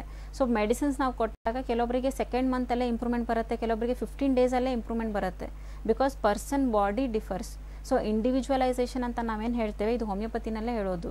ಯಾಕಂದರೆ ಹೋಮಿಯೋಪತಿಕ್ ಮೆಡಿಸಿನ್ ಒಬ್ಬರಿಂದ ಇನ್ನೊಬ್ಬರಿಗೆ ಡಿಫ್ರೆನ್ಸ್ ಆಗಿದ್ದೇ ಇರುತ್ತೆ. ಒಬ್ಬರ ಮೆಡಿಸಿನ್ ಇನ್ನೊಬ್ಬರಿಗೆ ಮೆಡಿಸಿನ್ ಆಗಿರೋದಿಲ್ಲ, ಅದು ಟಾಕ್ಸಿಕ್ ಆಗಿಡುತ್ತೆ. ಸೊ ಕಂಪಲ್ಸರಿ ಅಲ್ವಾ? ಈಗ ನೀವು ಫುಡ್ ಐಟಮಲ್ಲೂ ಕೂಡ. ಸೊ ಒಬ್ಬರಿಗೆ ಬದನೆಕಾಯಿ ಅಥವಾ ಆಲೂಗಡ್ಡೆ ಏನಾದರೂ ತೊಗೊಂಡಾಗ ಜಾಯಿಂಟ್ ಪೇನ್ ತುಂಬ ಜಾಸ್ತಿ ಆಗುತ್ತೆ. ಅದೇ ಬೇರೆ ಪರ್ಸನಿಗೆ ಆಗೋದಿಲ್ಲ. ಬಿಕಾಸ್ ಬಾಡಿ ಸೆನ್ಸಿಟಿವಿಟಿ ಪ್ರತಿಯೊಬ್ಬರದ್ದು ಬೇರೆ ಬೇರೆ ಇರುತ್ತೆ. ಸೊ ಹೋಮಿಯೋಪತಿಕ್ ಮೆಡಿಸಿನ್ ಆ್ಯಕ್ಷನ್ ಆಗಬೇಕಾದಾಗ ಕೂಡ ಹಾಗೆ. ನಾವು ಮೆಡಿಸಿನ್ಸ್ ಕೊಟ್ಟಾಗ ಬಾಡಿ ಹೇಗೆ ರಿಯಾಕ್ಟ್ ಆಗುತ್ತೆ? ಎಷ್ಟು ಪರ್ಸೆಂಟ್ ಇಂಪ್ರೂವ್ಮೆಂಟ್ ಬರುತ್ತೆ ನಿಮಗೆ? ಸೆಕೆಂಡ್ ಡೇ ಥರ್ಡ್ ಡೇ ಅಲ್ಲೂ ಕೂಡ ನಾವು ನೋಡಿದ್ದೀವಿ. ಮೆಡಿಸಿನ್ಸ್ ತೊಗೊಂಡು within second day first day ಅಲ್ಲಿ ಡಿಸ್ಕಂಫರ್ಟ್ನೆಸ್ ಕಡಿಮೆ ಆಗುತ್ತೆ. ಪೇಷಂಟ್ಸೇ ಹೇಳ್ತಾರೆ ಸೊ ವಾಕಿಂಗ್ ಮುಂಚೆ ಎಷ್ಟು ಡಿಸ್ಕಂಫರ್ಟ್ ಆಗ್ತಾ ಇತ್ತು? ವಿತ್ ಸಪೋರ್ಟ್ ವಾಕ್ ಮಾಡೋದು. ಇವಾಗ ವಿತೌಟ್ ಸಪೋರ್ಟ್ ವಾಕ್ ಮಾಡ್ತಿದ್ದಾರೆ. ಸೊ ಈಗ ಆಚೆನೇ ಬರ್ತಾ ಇರಲಿಲ್ಲ ಮನೆಯಿಂದ, ಈಗ ಹೊರಗಡೆ ಹೋಗಿ ವಾಕ್ ಮಾಡ್ತಿದ್ದಾರೆ. ಸೊ ಇದೆಲ್ಲ ಲೆವೆಲ್ಸ್ ಆಫ್ ಇಂಪ್ರೂವ್ಮೆಂಟ್ ತೋರಿಸುತ್ತೆ. ಅದು ಅಗೇನ್ ಪರ್ಸನ್ ಮೇಲೇ ಡಿಪೆಂಡ್ ಆಗುತ್ತೆ. ಕೆಲವು ಪೇಷಂಟ್ಸ್ ಇದ್ದಾರೆ ನೈಂಟಿ ಏಜ್ ಇದೆ. ಇವಾಗೂ ಕೂಡ ಮೈಲ್ಡ್ ಆಸ್ಟಿಯೋ ಆರ್ಥರೈಟಿಸ್ ಸ್ಟಾರ್ಟ್ ಆಗಿದೆ. ಸೊ ಸಿಕ್ಸ್ಟಿ ಏಜ್ ಇರೋರಿಗೆ ನೈಂಟಿ ಏಜ್ ಇರೋರಿಗೆ ಡಿಫ್ರೆನ್ಸ್ ಆಗೇ ಆಗುತ್ತೆ. ಸೊ ನೈಂಟಿ ಏಜ್ ಇರೋರಿಗೆ ಇಮ್ಯುನಿಟಿ ಪವರ್ ತುಂಬಾ ಬೆಟರ್ ಇದೆ. ಸೊ ಅದಕ್ಕಾಗಿಯೇ ಅವರಿಗೆ ಇಷ್ಟು ವರ್ಷ ಕೂಡ ಬಂದಿರಲಿಲ್ಲ ಈ ಲಾಸ್ಟ್ ಸ್ಟೇಜಸಲ್ಲಿ ತೋರಿಸ್ತಾ ಇದೆ. ಸೊ ಇವರಲ್ಲೂ ಕೂಡ ಹೋಮಿಯೋಪತಿಕ್ ಮೆಡಿಸಿನ್ ಕೊಟ್ಟಾಗ ಇಂಪ್ರೂವ್ಮೆಂಟ್ಸ್ ಬಂದೇ ಬರುತ್ತೆ. Again differs with durations so maximum ನಾವೇನು ಹೇಳ್ತೇವೆ ಫಿಫ್ಟೀನ್ ಟ್ವೆಂಟಿ ಡೇಸಲ್ಲೂ ಕೂಡ ಹೋಮಿಯೋಪತಿಕ್ ಮೆಡಿಸಿನಿಂದ ಇಂಪ್ರೂವ್ಮೆಂಟ್ ಬಂದೇ ಬರುತ್ತೆ. ಇನ್ನು ವೀಕ್ಷಕರೇ ನೀವು ನೋಡ್ತಾ ಇದ್ದೀರಾ ಆರೋಗ್ಯವೇ ಭಾಗ್ಯ ನೀರ ಪ್ರಸಾರದ ಕಾರ್ಯಕ್ರಮ. ಕಾರ್ಯಕ್ರಮ ಮುಂದುವರಿಯುತ್ತೆ ಒಂದು ಪುಟ್ಟ ವಿರಾಮದ ನಂತರ. ಅಲ್ಲೆಲ್ಲೂ ಎಲ್ಲೆಲ್ಲೂ ಅಕ್ಷರದ ಸುರಿಮಳೆ ಕೇಸರಿ. ದೇಶದೆಲ್ಲೆಡೆ ಒಂದೇ ಮಾತು ಕೇಸರಿಯ ಮಾತು. ವಿಮಲ್ ಮಾತು ಮಾತಲ್ಲಿ ಕೇಸರಿ. ಮಮ್ಮಿ ಯೂನಿಫಾರ್ಮ್ ಅನ್ನು ಎಲ್ಲಕ್ಕಿಂತ ಹೆಚ್ಚು ವೈಟ್ ಮಾಡಿದ್ದಾಳೆ. ಹೇಳು ಯಾವ್ದ್ರಕ್ಕಿಂತ? ಟ್ಯೂಬ್ಲೈಟ್ಗಿಂತ ಸ್ನೋ ವೈಟ್ಗಿಂತ ಹಾಲು ಮೊಸರು ಮಜ್ಜಿಗೆಗಿಂತ ಐಸ್ ಕ್ರೀಮ್ಗಿಂತ ಕ್ರಿಕೆಟ್ ಟೀಮ್ಗಿಂತ ಮತ್ತೆ ಇದಕ್ಕಿಂತ ಬೆರ್ಗದ್ರ ಮಮ್ಮಿ. ಹೊಸ ಟೈಟ್ ಪ್ಲಸ್ ಎಕ್ಸ್ಟ್ರಾ ಪವರ್ ಇತರ ಪೌಡರ್ಗಿಂತ ಹೆಚ್ಚು ಕೊಳೆ ತೆಗೆಯುತ್ತೆ ಉತ್ತಮ ಬಿಳುಪು ನೀಡುತ್ತೆ. ಎಕ್ಸ್ಟ್ರಾ ಪವರ್ ಟೈಟ್ ಅಂದ್ರೆ ಎಕ್ಸ್ಟ್ರಾ ಪವರ್ ವೈಟ್ ಹಿಂದೆ ಹಿಂದೂಸ್ತಾನ್ ಗೋಲ್ಡ್ ಕಂಪನಿಗೆ ಬನ್ನಿ. ನಿಮ್ಮಲ್ಲಿರೋ ಹಳೆ ಚಿನ್ನ ಆಗ್ಲಿ ಅಥವಾ ನೀವು ಅಡ ಇಟ್ಟಿರೋ ಚಿನ್ನ ಆಗ್ಲಿ, ತಕ್ಷಣ ಬಿಡಿಸಿ ಇಂದಿನ ಆನ್ಲೈನ್ ಬೆಲೆಗೆ ಕೊಂಡುಕೊಂಡು ಕೂಡ್ಲೇ ಬಾಕಿ ಹಣವನ್ನ ನಿಮ್ಮ ಕೈಗಿಡ್ತಾರೆ ಹಿಂದೂಸ್ತಾನ್ ಗೋಲ್ಡ್ ಕಂಪನಿ, ಇದು ನಿಮ್ಮ ಕಂಪನಿ. ಹಾಡೋಕೆ ಹೋಗಿಲ್ವಾ? ಹೋದ್ರೆ ನಿಮ್ಮನ್ನು ರಕ್ಷಿಸೋರು ಯಾರು? ಯಾರು ರಕ್ಷಿಸೋರು? ಯಾರಿಂದ? ಈ ಹಠಮಾರಿ ಸೊಳ್ಳೆಗಳಿಂದ. ಮನೆ ಬಿಟ್ಟು ಓಡೋದೇ ಇಲ್ಲ. ಹಠಮಾರಿ ಸೊಳ್ಳೆ. ನೋಡಿ ಗುಡ್ ನೈಟ್ನ ಫಿಫ್ಟಿ ಪರ್ಸೆಂಟ್ ಪವರ್ ಹೆಚ್ಚಿದಾಗ ಸೊಳ್ಳೆ ಮನೆ ಮಾತ್ರವಲ್ಲ ಪ್ರಪಂಚವನ್ನೇ ಬಿಟ್ಟು ಓಡಿ ಹೋಗುತ್ತೆ ಎಲ್ಲಕ್ಕಿಂತ ಶಕ್ತಿಶಾಲಿ good night power active plus ಇದರಲ್ಲಿದೆ ಫಿಫ್ಟಿ ಪರ್ಸೆಂಟ್ ಅಧಿಕ ಪವರ್ಫುಲ್ ಮಾಲಿಕ್ಯೂಲ್ಸ್ ನಾರ್ಮಲ್ ಮೋಡ್ ಹಠಮಾರಿ ಸೊಳ್ಳೆಗಳನ್ನು ಓಡಿಸುತ್ತೆ ಮತ್ತು ಆಕ್ಟಿವ್ ಮೋಡ್ ಹಠಮಾರಿಯಿಂದ ಹಠಮಾರಿ ಸೊಳ್ಳೆಗಳನ್ನು. ಅಧಿಕ ಪವರ್ ಪುಷ್ ಮಾಡಿ ಅಧಿಕ ಖುಷಿ ಪಡಿ. Good night power active plus ಇದನ್ನು ನೋಡಿದ್ಯಾ? ಪ್ರತಿದಿನ ಸುಂದರವಾಗಿ ಕಾಣಲು ಇಪ್ಪತ್ತು ದಾರಿಗಳು. ಇಪ್ಪತ್ತು ದಾರಿ ಯಾಕೆ? ಮಮ್ಮಿಗೆ ಇಪ್ಪತ್ತು ರೂಪಾಯಿ ಸಾಕು. ಪ್ರಸ್ತುತಪಡಿಸುತ್ತೇವೆ ಹೊಸ ಸಂತೂರ್ ಕೇವಲ ಇಪ್ಪತ್ತು ರೂಪಾಯಿಗಳಲ್ಲಿ. ಇವರೇ ನನ್ನ ಮಲ್ಟಿ ಟಾಸ್ಕಿಂಗ್ ಗಂಡ? ಮಲ್ಟಿರಾಜ್. ಮತ್ತೆ ಇವನೇ ನನ್ನ ಮಗ? ಮಲ್ಟಿ ಸೆಟ್ ಇವರಿಗಾಗಿ ನಾನು ಚಪಾತಿಗಳನ್ನು ತಯಾರಿಸ್ತೀನಿ. ಆಶೀರ್ವಾದ ಆಟ ವಿತ್ ಮಲ್ಟಿಗ್ರೇನ್ಸ್ನಿಂದ ಇದರಲ್ಲಿದೆ ಸೋಯಾ, ಓಟ್ಸ್, ಕಡಲೆ, ಜೋಳ ಮತ್ತು ಸೀಲಿಯಂ ಹಸ್ ಇವು ನಿಮ್ಮ ಮಲ್ಟಿ ಟಾಸ್ಕಿಂಗ್ಗೆ ನಿಮಗೆ ಶಕ್ತಿ ಕೊಡುತ್ತವೆ. ಐಟಿಸಿ ಆಶೀರ್ವಾದ ಆಟ ವಿತ್ ಮಲ್ಟಿ ಮಲ್ಟಿಗ್ರೇನ್ಸ್ ಸ್ವಾದಭರಿತ ಆರೋಗ್ಯ. ಈಗ ಆಶೀರ್ವಾದ್ ಗೋಧಿ ಹಿಟ್ಟು ವಿತ್ ಮಲ್ಟಿಗ್ರೇನ್ನ ಐದು ಕಿಲೋ ಪ್ಯಾಕ್ ಜೊತೆ ಒಂದು ಕಿಲೋ ಪ್ಯಾಕ್ ಉಚಿತ. ಆರೈಕೆ ನಿನ್ನದು. Rich creme hair colour Godrej ಎಕ್ಸ್ಪರ್ಟ್ನಿಂದ. Hair colour ಮತ್ತೆ ಆರೈಕೆ ಇದು ಕೂದಲಿಗೆ ಕಲರ್ ಮಾಡುತ್ತೆ ಅಮೋನಿಯಾ ಇಲ್ಲದೇನೆ ಮತ್ತಿದ್ರ ಇದರ ಅಲ್ಯೂಮಿನ್ ಪ್ರೋಟೀನ್ ಫಾರ್ಮುಲಾ ಕೂದಲನ್ನು ನಿರ್ಸುತ್ತೆ ಸಾಫ್ಟ್ ಮತ್ತು ಶೈನಿ ಇಷ್ಟೊಂದು ಹಣ ಎಲ್ಲಿಂದ ಬಂತು? ಬರೀ ಮೂವತ್ತು ರೂಪಾಯಿ ಅಮ್ಮ. ಆರೈಕೆ ಗೋದ್ರೇಜ್ ಎಕ್ಸ್ಪರ್ಟ್ ರಿಚ್ ಕ್ರೈಮ್ನಿಂದ. ನಿಮ್ಮ ಕನಸಿಗೆ ಹಣ ಒಂದು ಅಡ್ಡಿಯಾಗಬಹುದಾ ಅಟ್ಟಿಕಾ ಗೋಲ್ಡ್ ಕಂಪನಿಗೆ ಬನ್ನಿ. ಅಟ್ಟಿಕಾ ಗೋಲ್ಡ್ ಕಂಪನಿ ನಿಮ್ಮ ಚಿನ್ನವನ್ನು ಇಂದಿನ ಆನ್ಲೈನ್ ರೇಟ್ಗೆ ಕೊಂಡು ನಿಮಗೆ ಒಂದೇ ನಿಮಿಷದಲ್ಲಿ ಹಣ ಕೊಡ್ತಾರೆ. ಅಟ್ಟಿಕಾ ಗೋಲ್ಡ್ ಕಂಪನಿಗೆ ರಾಷ್ಟ್ರಾದ್ಯಂತ ಬ್ರಾಂಚಸ್ ಇವೆ. ಆರ್ಟಿಕಾ ಗೋಲ್ಡ್ ಕಂಪನಿ. ನಿಮ್ಮ ಕನಸುಗಳು ನನಸಾಗಲಿ.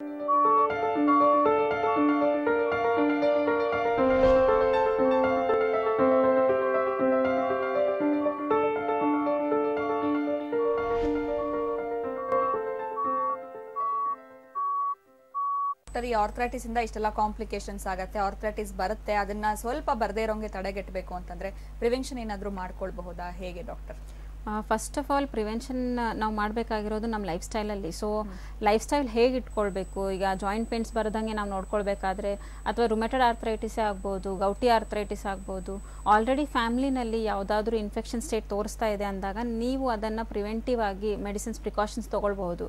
ಒಂದು ನಿಮ್ಮದು ಬಾಡಿ ವೆಯ್ಟ್ ಇರುತ್ತೆ ಡಯಟಿಂಗಲ್ಲಿರುತ್ತೆ ಎಕ್ಸಸೈಸಸ್ ಇರುತ್ತೆ ಸೊ ಬಾಡಿ ವೆಯ್ಟ್ ಮೇಂಟೈನ್ ಮಾಡ್ತಾ ಇದ್ದಂಗೆ ನೀವು ಕರೆಕ್ಟಾಗಿ ಫುಡ್ ಮತ್ತು ವಾಟರ್ ಕನ್ಸ್ಯೂಮ್ ಮಾಡ್ತಿದ್ದೀರಾ ಎಕ್ಸಸೈಸ್ ಮಾಡ್ತಿದ್ದೀರಾ ಅಂದಾಗ ನಿಮ್ಮ ಬಾಡಿ ಇಮ್ಯುನಿಟಿ ಬೆಟರ್ ಆಗುತ್ತೆ. ಸೊ ವೆರೆವರ್ ಇಮ್ಯುನಿಟಿ ಇಂಪ್ರೂವ್ ಆಗ್ತಾ ಇರುತ್ತೆ ನೋಡಿ, ನಿಮಗೆ ಡಿಸೀಸ್ ಕ್ಯಾಚಿಂಗ್ ಏಜೆಂಟ್ಸ್ ಕಡಿಮೆ ಆಗ್ತಾ ಬರುತ್ತೆ. ಈಗ ನಾವು ಕ್ಯಾನ್ಸರ್ ಮಾತಾಡಲಿ ಅಥವಾ ಡಯಾಬಿಟಿಕ್ ಹೇಳ್ಬೋದು ಅಥವಾ ಹೈಪೋಥೈರಾಯ್ಡ್ ಇರ್ಬೋದು ಸೋರಿಯಾಸಿಸ್ ಇರಬಹುದು, ಅಥವಾ ಜಾಯಿಂಟ್ ಪೇನ್ಸ್ ಇರ್ಬೋದು. ಇದು ಎಲ್ಲ ಕಾಯಿಲೆ ಅಲ್ವಾ, ನಿಮಗೆ fifteen twenty percent family tendency ಇರುತ್ತೆ. ದ ರೆಸ್ಟ್ ಏಯ್ಟಿ ಪರ್ಸೆಂಟ್ ಏನಿರುತ್ತೆ ನಮ್ಮ ಎನ್ವಿರಾನ್ಮೆಂಟ್ ಅಂದರೆ ನಾವು ಹೇಗೆ ಇಟ್ಕೊಂಡಿದ್ದೀವಿ ಲೈಫ್ ಸ್ಟೈಲ್ ಅದು ಮ್ಯಾಟ್ರ್ ಆಗುತ್ತೆ. ಸೊ ಅದರಲ್ಲಿ ನೀವು ಹೆಚ್ಚು ಕಡಿಮೆ ಆದಾಗ ಯಾವ ಡಿಸೀಸ್ ಆದರೂ ಕೂಡ ಎಂಟರ್ ಆಗ್ಬೋದು ಬಾಡಿನಲ್ಲಿ ಅದು ಜಾಯಿಂಟ್ ಪೇನ್ಸೇ ಇರ್ಬೋದು ಡಯಾಬಿಟಿಕೇ ಇರಬಹುದು ಸೊ ಅಗೇನ್ ಸ್ಟ್ರೆಸ್ ರಿಲೇಟೆಡ್ ಏನು ಹೇಳ್ತೇವೆ ನಾವು. ಸೊ ಸ್ಟ್ರೆಸ್ಸಿಂದ ಆರ್ಥರೈಟಿಸ್ ಬರುವಂಥ ಚಾನ್ಸಸ್ ರುಮೆಟೆಡ್ ಆರ್ಥ್ರೈಟಿಸಿಗೆ ಆಟೋ ಇಮ್ಯುನಿಟಿಗೆ ಇಮ್ಯುನಿಟಿ ಕಡಿಮೆ ಆಗೋದಕ್ಕೆ ಈ ಸ್ಟ್ರೆಸ್ ತುಂಬಾ ಇಂಪಾರ್ಟೆಂಟ್ ಫ್ಯಾಕ್ಟರ್ ಆಗುತ್ತೆ.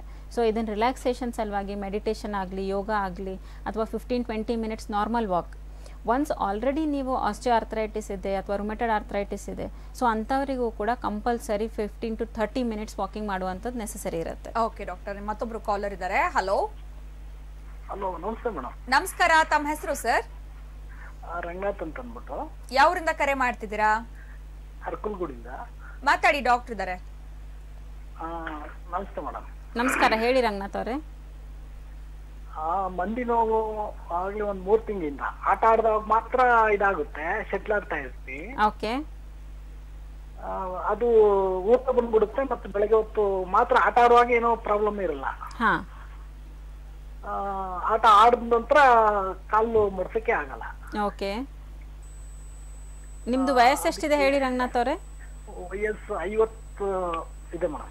Okay okay. ಸೊ ಅದು ನೀವು ಶಟ್ಲ್ ಬಿಟ್ಟು ಮತ್ತೆ ನೀವು ವಾಕಿಂಗ್ ಕೂಡ ಮಾಡ್ತೀರಾ? ಮೇಡಮ್. ಓಕೆ. ಸೊ ಈಗ ಅದು ತೋಟಕ್ಕೆ ತೋಟದ ಕೆಲಸ ತೋಟದ ಕೆಲಸ ಎಲ್ಲ ಮಾಡ್ತಾ ಇದ್ದಾಗ ಏನಾಗಲ್ಲ. ಓಕೆ. ಅದು ಬಿಟ್ಟು ಅಂತಂದ್ರೆ ಮಾಮೂಲಿ ಸುಮ್ಮನೆ ಮನೇಲಿ ಇತ್ತು ಅಂತಂದ್ರೆ ಬೆಂಕ್ ಶುರು ಆಗುತ್ತೆ ಓಕೆ ಓಕೆ ಓಕೆ. ಇಲ್ಲ, ಇವಾಗ ನೋಡಿ, ನೀವು ಆಡುವಾಗ ಅಲ್ವಾ ಕಾನ್ಸಂಟ್ರೇಷನ್ ನಿಮಗೆ ಜಾಸ್ತಿ ಕಾಲ್ ಮೇಲೆ ಇರೋದಕ್ಕಿಂತಲೂ ಆಟದಲ್ಲಿರುತ್ತೆ. ಸೊ ಆವಾಗ ನಿಮಗೆ ಪೇನ್ ಗೊತ್ತಾಗೋದಿಲ್ಲ. ಪೇನ್ ಯಾವಾಗ ಗೊತ್ತಾಗೋದು? ನೀವು ಮನೆಗೆ ಬಂದಿದ ಮೇಲೆ ಪೇನ್ ಏನಕ್ಕೆ ಕಾಣಿಸುತ್ತೆ ಅಂದರೆ ಕಾನ್ಸಂಟ್ರೇಷನ್ ಚೇಂಜ್ ಆಗಿರುತ್ತೆ ಅಷ್ಟೇ ಬಟ್ ಅಗೇನ್ ನಿಮಗೆ ಆಡೋದು ನೀವು ಸ್ಟಾಪ್ ಮಾಡಿ ಅಂತ ಹೇಳೋದಿಲ್ಲ ಬಟ್ ವಾಟ್ ರೀಸನ್ ಪೇನ್ ಬರ್ತಾ ಇದೆ ಅಲ್ವಾ? ಒಂದು ನೀವು ಎಕ್ಸ್ರೇ ಮಾಡಿಸಿದ್ರೆ ಒಳಗಡೆ ನಿಮ್ಮ ಏಜ್ ಫ್ಯಾಕ್ಟ್ರಿಂದ ಏನಾದರೂ ಮೂಳೆ ಸವ್ದಿರೋದು ಕಾಣಿಸ್ತಾ ಇದೆಯಾ? ಅಥವಾ ಸಿಂಪಲ್ ಮಸ್ಕ್ಯುಲರ್ ಪೇನ್ಸ್ ಇದೆಯಾ? ಇದು ಗೊತ್ತಾಗತ್ತೆ. ಯಾಕಂದರೆ ಬರೀ ನಿಮಗೆ ಜಾಯಿಂಟ್ ಪೇನ್ ಆಗ್ತಿದೆ ಅಂದರೆ ಓಕೆ ಅದರಲ್ಲಿ ಏನಾದರೂ ಊತ ಬರ್ತಾ ಇದೆ ಕೆಳಗಡೆನೂ ಹರಿತಾ ಇದೆ ಜಾಯಿಂಟ್ ಸ್ವೆಲ್ಲಿಂಗ್ ಜೊತೆಗೆ ನಿಮಗೆ ಜೋಮ್ ಬರ್ತಾ ಇದೆ ಇದೆಲ್ಲ ರಿಲೇಟೆಡ್ ಟು ನರಕ್ಕೆ ಮತ್ತು ನಿಮ್ಮದು ಮೂಳೆಗಿರುತ್ತೆ. ಸೊ ಅದಕ್ಕಾಗಿ ಒಂದು ನೀವು ಬ್ಲಡ್ ಟೆಸ್ಟ್ ಮತ್ತು ಎಕ್ಸ್ರೇ ಮಾಡ್ತಾ ಬಂದರೆ ಕ್ಲಿಯರಾಗಿ ಗೊತ್ತಾಗುತ್ತೆ. ಅದಾದ ನಂತರ ನೀವು ಮೆಡಿಸಿನ್ ಸ್ಟಾರ್ಟ್ ಮಾಡ್ತಾ ಬನ್ನಿ. ಓಕೆ ಧನ್ಯವಾದಗಳು ಸರ್ ಕಾಲ್ ಮಾಡಿದಕ್ಕೆ ನಮ್ಮ ಹೋಮಿಯೋಪತಿ ಕ್ಲಿನಿಕ್ಗೆ ನೇರವಾಗಿ ಬಂದು ವೈದ್ಯರನ್ನ ಭೇಟಿ ಮಾಡಬಹುದು ಮತ್ತೊಂದು ಕರೆ ಇದೆ. ಹಲೋ ಹಲೋ ನಮಸ್ಕಾರ ಸರ್ ತಮ್ಮ ಹೆಸರು? ಮೇಡಮ್ ನಮಸ್ತೆ. ಹೇಳಿ ಸರ್ ತಮ್ಮ ಹೆಸರು? ಮಹಾದೇವ್ ಅಂತ ಹೇಳಿ. ಮಾತಾಡಿ ಡಾಕ್ಟರ್ ಇದ್ದಾರೆ ಮೇಡಮ್ ನಮಸ್ತೆ. ನಮಸ್ಕಾರ ಹೇಳಿ ಮಹಾದೇವ್. ಮೇಡಮ್ ನಂದು ಏನಾಗಿದೆ ಅಂದ್ರೆ ನನಗೀಗ ಒಂದು ನಾಲ್ಕೈದು ವರ್ಷದಿಂದನೂ ಹಾಂ. ಈ ತರ ನನಗೆ ಜಾಯಿಂಟ್ ಪೇನ್ ಮತ್ತೆ ಪಾದಗಳ ಕೆಳಗಡೆ ಮೊದಲು ಸ್ಟಾರ್ಟಿಂಗ್ ಸ್ಟಾರ್ಟ್ ಆಗಿದ್ದು ಪಾದದಿಂದ. ಓಕೆ ಪಾದ ನೋವು ಬರ್ತಾ ಇತ್ತು. ನಾನು ಅವಾಗ ನಿಂತ್ ಕೆಲಸ ಮಾಡ್ತಾ ಇದ್ದೆ ತುಂಬಾ. ಮತ್ತೆ ಮತ್ತೆ ಬರ್ತಾ ಬರ್ತಾ ಅದೇನಾಯ್ತು? ಮಂಡಿಗ್ ಬಂತು. ಮಂಡಿ ಹತ್ರ ಮೇಲ್ಗಡೆ ಇದ್ರ ಹತ್ರ ಜಾಯಿಂಟ್ ಅಲ್ಲಿ ನೋವಾಗ ಸ್ಟಾರ್ಟ್ ಆಯ್ತು. ಒಂದ್ ಮಂಡಿ ಕಮ್ಮಿ ಆಯ್ತು ಅಂದ್ರೆ ಇನ್ನೊಂದ್ ಮಂಡಿಗೆ ಬರುತ್ತೆ. ಓಕೆ ಸೊ ಹಾಗೆ ಹಾಗೆ ಸ್ಟಾರ್ಟ್ ಆಗಿ ಈಗ ಶೋಲ್ಡ್ರಿಗೆ ಬಂತು. ಈಗ ಏನಾಗುತ್ತೆ ಒಂದ್ಸಲ ಇದಕ್ಕೇನೋ ಪೇನ್ ಕಿಲ್ಲರ್ ಅದು ಇದು ತಗೊಂಡು ಮತ್ತೆ ನಾನು ಈ ಆರ್ಥೋಪೆಡಿಕ್ ಹತ್ರ ಹೋಗ್ಬಿಟ್ಟು ತೋರಿಸಿದಾಗ ಅವ್ರೇನ್ ಮಾಡ್ತಾರೆ ಒಂದ್ ಇಂಜೆಕ್ಷನ್ ಕೊಡ್ತಾರೆ. ನಾನು ಎಕ್ಸ್ಟ್ರಾ ಎಲ್ಲ ಮಾಡ್ಸಿದೀನಿ ಏನೂ ಇಲ್ಲ. ಅದನ್ನೇ ಹೇಳ್ತಾರೆ ಅವರು ಒಂದ್ಸಲ ಹೇಳಿದ್ರು ಯೂರಿಕ್ ಆಸಿಡ್ ಇದೆ ಅಂತ ಹೇಳಿ ಇದೇನಾಗ್ತಾ ಇದೆ ನನಗೆ ಇವಾಗ ಏನಾದ್ರೂ ಈ ಕೋಲ್ಡ್ ಪದಾರ್ಥಗಳು ತಿಂದಾಗ ಮತ್ತೆ ಈ ಕೋಲ್ಡ್ ಸೀಸನ್ ಅಲ್ಲಿ ಇದು ಜಾಸ್ತಿ ಆಗುತ್ತೆ ಮೇಡಮ್. ಇವಾಗ ನೋಡಿ ಆಲ್ರೆಡಿ ನಮಗೆ ಲೆಫ್ಟ್ ಶೋಲ್ಡರ್ ತುಂಬಾ ಪೇನ್ ಇದೆ. ರಾತ್ರಿ ಹೊತ್ತು ನಿದ್ರೆನೆ ಮಾಡಕ್ಕಾಗಲ್ಲ. Okay okay. ಇಲ್ಲ ಇಲ್ಲಿ ಶುಗರ್ ಬೇರೆ ಇದೆ. ಡಯಾಬಿಟಿಕ್ ಇದೆ ಅಂತ ಹೇಳ್ತಿದ್ದೀರಾ? ಅಂಡ್ ನಿಮಗೆ ಸೀಸನಲ್ ಈಗ ಕೋಲ್ಡ್ ಜಾಸ್ತಿ ಆಗೋದ್ರಿಂದ ಜಾಯಿಂಟ್ ಪೇನ್ ತೋರಿಸ್ತಾ ಇದೆ ನೋಡಿ. ಕಂಪಲ್ಸರಿ ನಿಮಗೆ ನಿಮ್ಮ ಬ್ಲಡ್ ರಿಪೋರ್ಟ್ಸಲ್ಲಿ ತೋರಿಸಲೇಬೇಕು. ಇ ಎಸ್ ಆರ್ ನೋಡ್ಕೊಳ್ಳಿ ಸಿ ಆರ್ ಪಿ ನೋಡಿ ಮತ್ತು ಯೂರಿಕ್ ಆ್ಯಸಿಡ್ ಸೊ ಇದು ಯಾವುದಾದ್ರೂ ಕೂಡ ನಿಮಗೆ ಪಾಸಿಟಿವ್ ತೋರಿಸ್ತಾ ಇದೆ ಇನ್ಕ್ರೀಸ್ ತೋರಿಸ್ತಾ ಇದೆ ನಾರ್ಮಲ್ ರೇಂಜ್ಗಿಂತಲೂ ಅಂದರೆ ಈ ಇನ್ಫೆಕ್ಷನ್ ಕಡಿಮೆ ಮಾಡೋದಕ್ಕೆ ಹೋಮಿಯೋಪತಿಕ್ ಮೆಡಿಸಿನ್ ಸ್ಟಾರ್ಟ್ ಮಾಡ್ಕೊಳ್ಳಿ. ಅದರಲ್ಲಿ ನಿಮಗೆ ಇಮ್ಯುನಿಟಿನೂ ಇಂಪ್ರೂವ್ ಆಗುತ್ತೆ. ವೇಗ್ ಪೇನ್ಸ್ ಅಂತ ಹೇಳ್ತೀವಿ. ಅಂದರೆ ಜಾಯಿಂಟ್ ಒಂದು ಜಾಯಿಂಟಿಗೆ ಎಫೆಕ್ಟ್ ಆಗೋದ್ರಲ್ಲಿ ನೀವು ಮೆಡಿಸಿನ್ ಮಾಡ್ತಿರ್ತೀರಾ ಅದು ರೆಡ್ಯೂಸ್ ಆಗುತ್ತೆ ಮತ್ತೊಂದು ಜಾಯಿಂಟಿಗೆ ಎಫೆಕ್ಟ್ ಆಗ್ತಿದೆ. ಯಾಕಂದ್ರೆ ನೀವು ಮೆಡಿಸಿನ್ ಮಾಡ್ತಾ ಇರೋದು ಬರೀ ಪೇನಿಗೆ ಜಾಯಿಂಟ್ ಪೇನಿಗೆ ಆ ಜಾಯಿಂಟ್ ಪೇನ್ ಏನಕ್ಕೆ ಬರ್ತಾ ಇದೆ ಅಗೇನ್ ನಿಮ್ಮ ರಿಲೇಟೆಡ್ ಟು ಬ್ಲಡ್ ಇರುತ್ತೆ. ಎಕ್ಸ್ರೇನಲ್ಲಿ ಏನೂ ಬರೋದಿಲ್ಲ. ಎಕ್ಸ್ರೇ. ನಾರ್ಮಲ್ ಆಗೇ ಬರುತ್ತೆ. ಓನ್ಲಿ ಬ್ಲಡ್ ರಿಪೋರ್ಟ್ಸ್ ನಿಮ್ಮದು ತುಂಬಾ ಇಂಪಾರ್ಟೆಂಟ್ ಮತ್ತೆ ಪುನಃ ಒಂದ್ಸತಿ ಬ್ಲಡ್ ರಿಪೋರ್ಟ್ ಮಾಡ್ಕೊಳ್ಳಿ. ಅವಾಗ ನಮ್ಮ ಹೋಮಿಯೋಪತಿ ಕ್ಲಿನಿಕ್ಗೂ ಒಂದ್ಸತಿ ವಿಸಿಟ್ ಮಾಡಿ ಮೆಡಿಸಿನ್ ಸ್ಟಾರ್ಟ್ ಮಾಡ್ತೇವೆ. ಓಕೆ ಓಕೆ ಓಕೆ ಧನ್ಯವಾದಗಳು ಕಾಲ್ ಮಾಡಿದಕ್ಕೆ ಇನ್ನು ಡಾಕ್ಟರ್ ಇವಾಗ ಆರ್ಥರೈಟಿಸ್ ಸಮಸ್ಯೆ ಇರುವಂತವ್ರಿಗೆ ವಾಕ್ ಮಾಡ್ಬೇಕಾಗತ್ತಾ? ಹೇಗೆ ಡಾಕ್ಟರ್ ಇದ್ರ ಬಗ್ಗೆ ತಿಳಿಸಿ. ಆಲ್ರೆಡಿ ಆಸ್ಟಿಯೋ ಆರ್ಥರೈಟಿಸ್ ಇದೆ ಇವರಿಗೆ ಪೇನ್ ಸ್ಟಾರ್ಟ್ ಆಗಿದೆ ಅಂದಾಗ ಕಂಪಲ್ಸರಿ ವಾಕಿಂಗ್ ಮಾಡಿ but only related to pain ಹೇಗಿದೆ ಹಾಗೆ. So ten to fifteen minutes normal brisk walk ಅಲ್ಲದೆ ಅಥವಾ ರನ್ನಿಂಗ್ ಜಾಗಿಂಗ್ ಯಾವುದೂ ಆ ಥರದ್ದು ಕಾಂಪ್ಲಿಕೇಟೆಡ್ ಮಾಡ್ಕೊಳ್ಳಿಕ್ಕೆ ಹೋಗಬಾರ್ದು. ಸೊ ಇನಿಷಿಯಲಿ ನಾರ್ಮಲ್ ವಾಕ್ ಮಾಡ್ಕೊಳ್ಳಿ ಫಿಫ್ಟೀನ್ ಟು ಟ್ವೆಂಟಿ ಮಿನಿಟ್ಸ್ ಆ ಟ್ವೆಂಟಿ ಮಿನಿಟ್ಸಲ್ಲೂ ಕೂಡ ಪೇನ್ ಕಾಣಿಸ್ಕೊಳ್ತಾ ಇದೆ ಅಂದರೆ ಇನ್ನೂ ರಿಡಕ್ಷನ್ ಮಾಡಿ. ವಿತ್ ಪೇನ್ ನೀವು ಇನ್ನೂ ಜಾಸ್ತಿ ವಾಕ್ ಮಾಡಿದಾಗ ಟೇರ್ ಆಗುವಂಥ ಚಾನ್ಸಸ್ ಇರುತ್ತೆ. ಸೊ ವಾಕ್ ಮಸ್ಟ್ ಇರುತ್ತೆ but again related to pain ನೋಡಿಕೊಂಡು ಅಡ್ವೈಸಬಲ್ ಇರುತ್ತೆ. ಓಕೆ ಡಾಕ್ಟರ್ ಕಾರ್ಯಕ್ರಮದಲ್ಲಿ ಬಂದು ಆರ್ಥ್ರೈಟಿಸ್ ಸಮಸ್ಯೆಗಳ ಬಗ್ಗೆ ಸಾಕಷ್ಟು ಮಾಹಿತಿಗಳನ್ನ ತಿಳಿಸ್ಕೊಟ್ಟಿದ್ದೀರಾ. ಬಹಳ ಧನ್ಯವಾದಗಳು. ನಮಸ್ಕಾರ ಡಾಕ್ಟರ್ ಮೈ ಪ್ಲೇಷರ್ ವೀಕ್ಷಕರೇ, ನೀವು ಕೂಡ ಡಾಕ್ಟರ್ನ ನೇರವಾಗಿ ಭೇಟಿ ಮಾಡಬೇಕಿದ್ದಲ್ಲಿ ನಮ್ಮ ಹೋಮಿಯೋಪತಿ ಕ್ಲಿನಿಕ್ಗೆ ವಿಸಿಟ್ ಮಾಡಬಹುದು ಟಿವಿ ಸ್ಕ್ರೀನ್ ಮೇಲೆ ಫೋನ್ ನಂಬರ್ಸ್ ಬರ್ತಾ ಇದೆ. ನಂಬರ್ಸ್ಗೆ ಕಾಲ್ ಮಾಡಿ ಅಪಾಯಿಂಟ್ಮೆಂಟ್ ಪಡ್ಕೊಳ್ಳಿ ಅಂತ ಹೇಳ್ತಾ ಇವತ್ತಿನ ಆರೋಗ್ಯವೇ ಭಾಗ್ಯ ನೇರ ಪ್ರಸಾರದ ಕಾರ್ಯಕ್ರಮವನ್ನ ಮುಗಿಸುವಂತ ಸಮಯ ಆಗಿದೆ. ಮುಂದಿನ ಕಾರ್ಯಕ್ರಮದಲ್ಲಿ ಭೇಟಿ ಮಾಡ್ತೀನಿ. ಅಲ್ಲಿವರೆಗೂ ನಮಸ್ಕಾರ. ಈ ಕಾರ್ಯಕ್ರಮದ ಸಹ ಪ್ರಾಯೋಜಕರು ನೀಲ್ಕಮಲ್ ಮ್ಯಾಟ್ರಸ್.